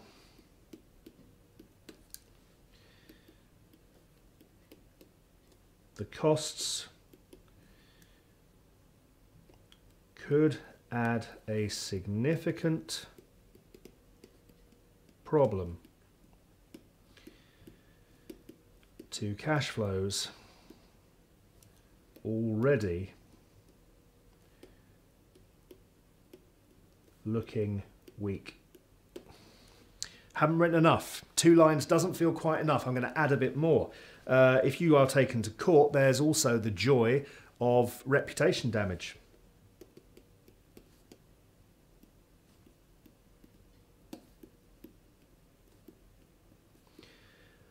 From the case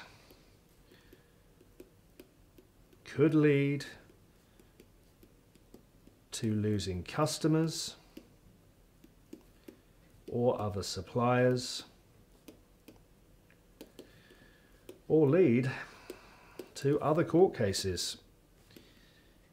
It's an unfortunate problem that once you're in court once, other people try their luck because they think that judges will say, well, if they've been in court before, increases the chance of guilt. So, uh, as auditor, I need to know stuff about this legal case to understand how likely it is they'll lose, how much we're talking about, obvious tests to do. Obtain information from clients' legal advisors. So inquire, E, A-E-I-O-U, E, inquire and confirm. As to likely costs of defending claim,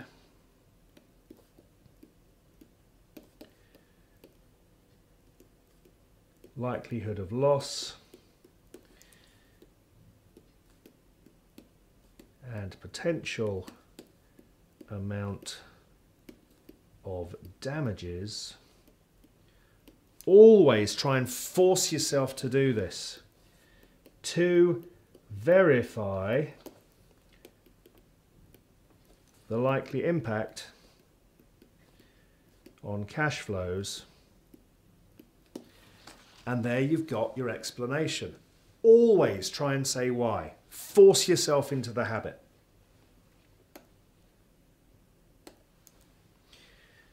Number four, a bit of a cleverer one, this one, I suppose. Uh, the current ratio is below one, and you're meant to know what that means.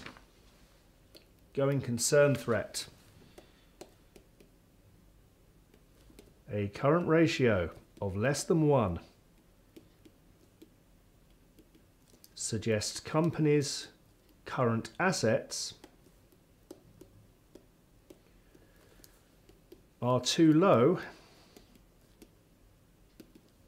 to meet current liabilities. Meaning without new finance, company cannot pay its debts. as they fall due.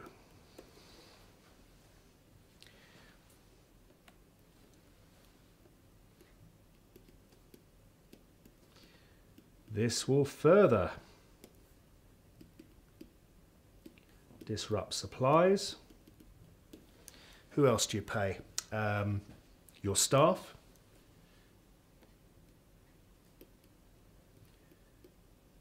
Paying staff,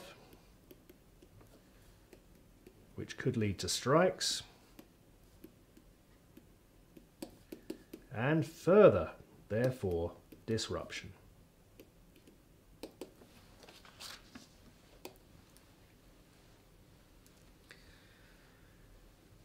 Now that one is tempting me to think about a procedure. Uh, there's no point checking the current ratio, it is what it is. But I mentioned there without new finance they're going to have problems and it is a standard going concern test to do which is inspect correspondence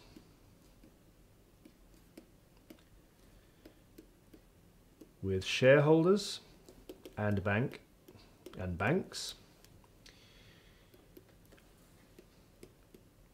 to assess board's ability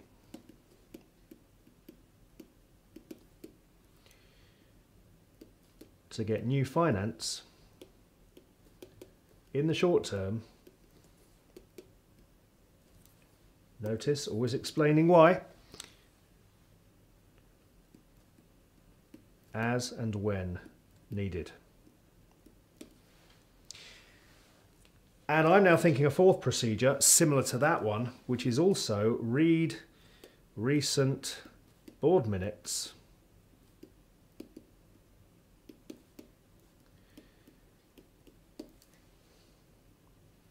To assess board's plans to reverse current going concern problems why are you doing that? So that you can then assess the likelihood of these plans succeeding. And board minutes are great, but you know what I'm also thinking? Which again, I always do as standard. So this is a bit of a standard test, but doesn't stop it being right. I think we need to obtain a written, signed representation from the board of their belief that the company is a going concern. With a justification of why. Given there are problems, I think they need to prove it to us. Uh, is that five tests? Unos, dos, tres, cuatro. Yeah, it is indeed. Now, I've already got all the tests I need. It said they've done forecasts. Um, those forecasts were not for a whole year, only, I think, nine months. Another procedure, therefore, would be to ask the company to extend those forecasts for at least an extra three months so that we can uh, assess a full year after the year end. But even for the forecasts that we've got, we know they're out of date. We know that because it's said in the question that the forecasts did not reflect the change in the law. So I think we need to ask the client to flex the forecasts to show how much worse situation will be once the law change takes effect.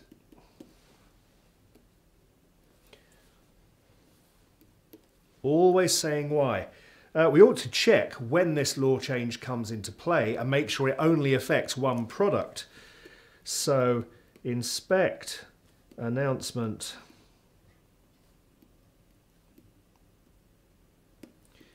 of law change.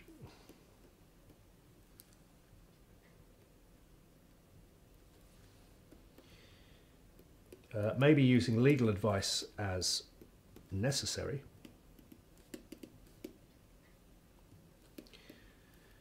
To verify when change due to happen and that it only affects one product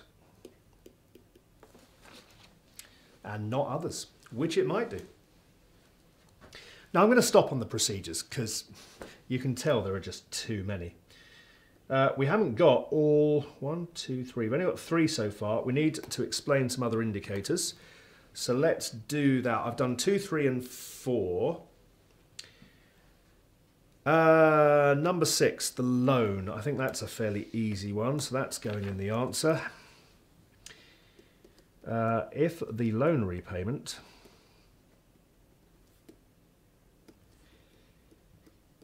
cannot be made, the bank might add penalties which company cannot afford, it would seem. Or attempt to put the company into liquidation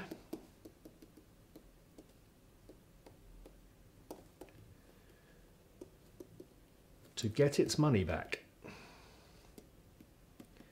Which of course gives rise to another procedure, inspect the loan agreement to see what the penalties are, uh, inspect correspondence with the bank to see if there's been any attempt so far to push that loan repayment back. Does the bank sound happy with the company, unhappy with the company? I need one more. What was number seven? Uh, the law results in one of Mercury's top product lines. Now again, this is pretty obvious, isn't it? But if a major product line is lost without replacement by new products, the further reduction on sales or reduction in sales because they've already had other reductions of course at a time when company is already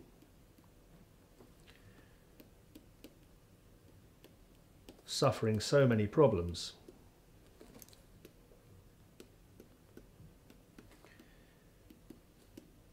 Could be enough to shut them down. I could, as always, go further, but I go on the lines of two to three lines is normally enough, given the time constraint, if nothing else, uh, and say, I'm guessing they don't have the money to do the research and development to find the new products. They're stuck, aren't they? Uh, that tells me of another audit procedure, but I've already written it down. Because the audit procedure I'm thinking is how much of forecast sales are for that product? Let's whip them out of the forecast and see how much worse it gets. But I've already written it down, haven't I? Yay! There we have it. Another question done. Uh, going concern questions are never difficult. In some ways, that's what makes them difficult because the clues in the story are so obvious, the temptation is just to copy them out. As with control deficiencies, You can't just copy stuff out. You've got to add to it. Always remember that.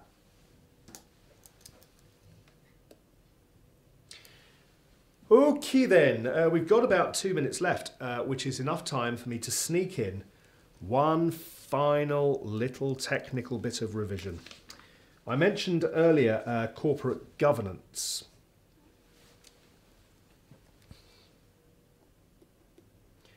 Which we'll need to spend a bit of time on in our final lecture. Lecture? No, revision. In our final practice session. So I'm not going to get into any detail now, but I'll just remind you of a few of the basics you are meant to know. What is corporate governance? It's the systems, policies, and procedures used to try to run an organization or company, if you prefer, properly. What does properly mean?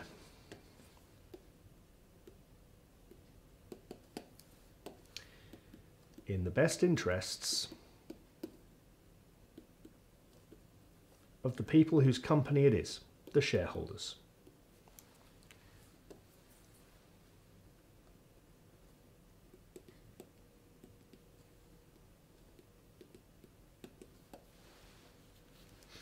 So why do we need this? Why is this considered a problem?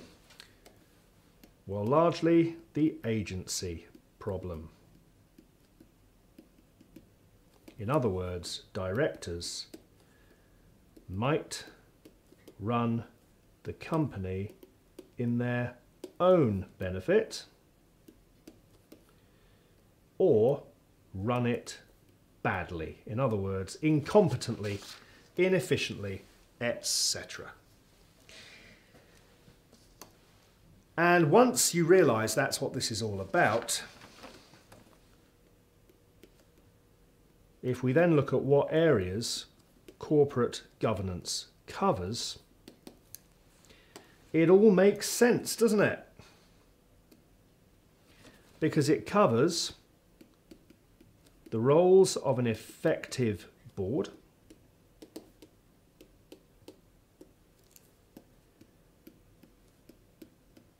who should be or not be on the board.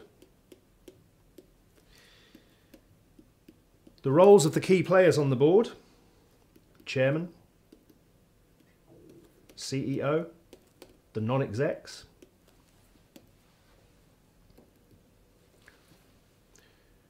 the roles of the key board committees, so remuneration, nomination, and the audit committees. It's got rules on director pay because they could easily act in their own best interests and pay themselves a fortune. It's got guidance on how to manage risks and use controls. That brings in the role of internal audit and it looks at communication between the board and shareholders.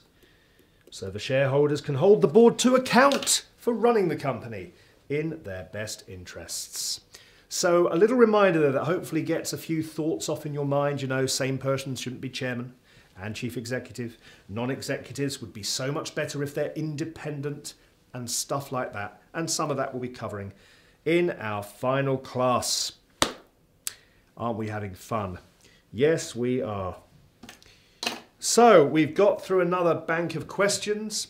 We're now very heavily practiced on the core areas of the course and our final class will be mopping things up. Some audit report questions, uh, internal, uh, internal audits and corporate governance, and a few other bits and pieces to fill it all out. But for now, we have reached the end of revision class number three. So it is time for me to bid farewell. I will see you next week for the final instalment. For now, good night. Enjoy the rest of your evening. Bye bye.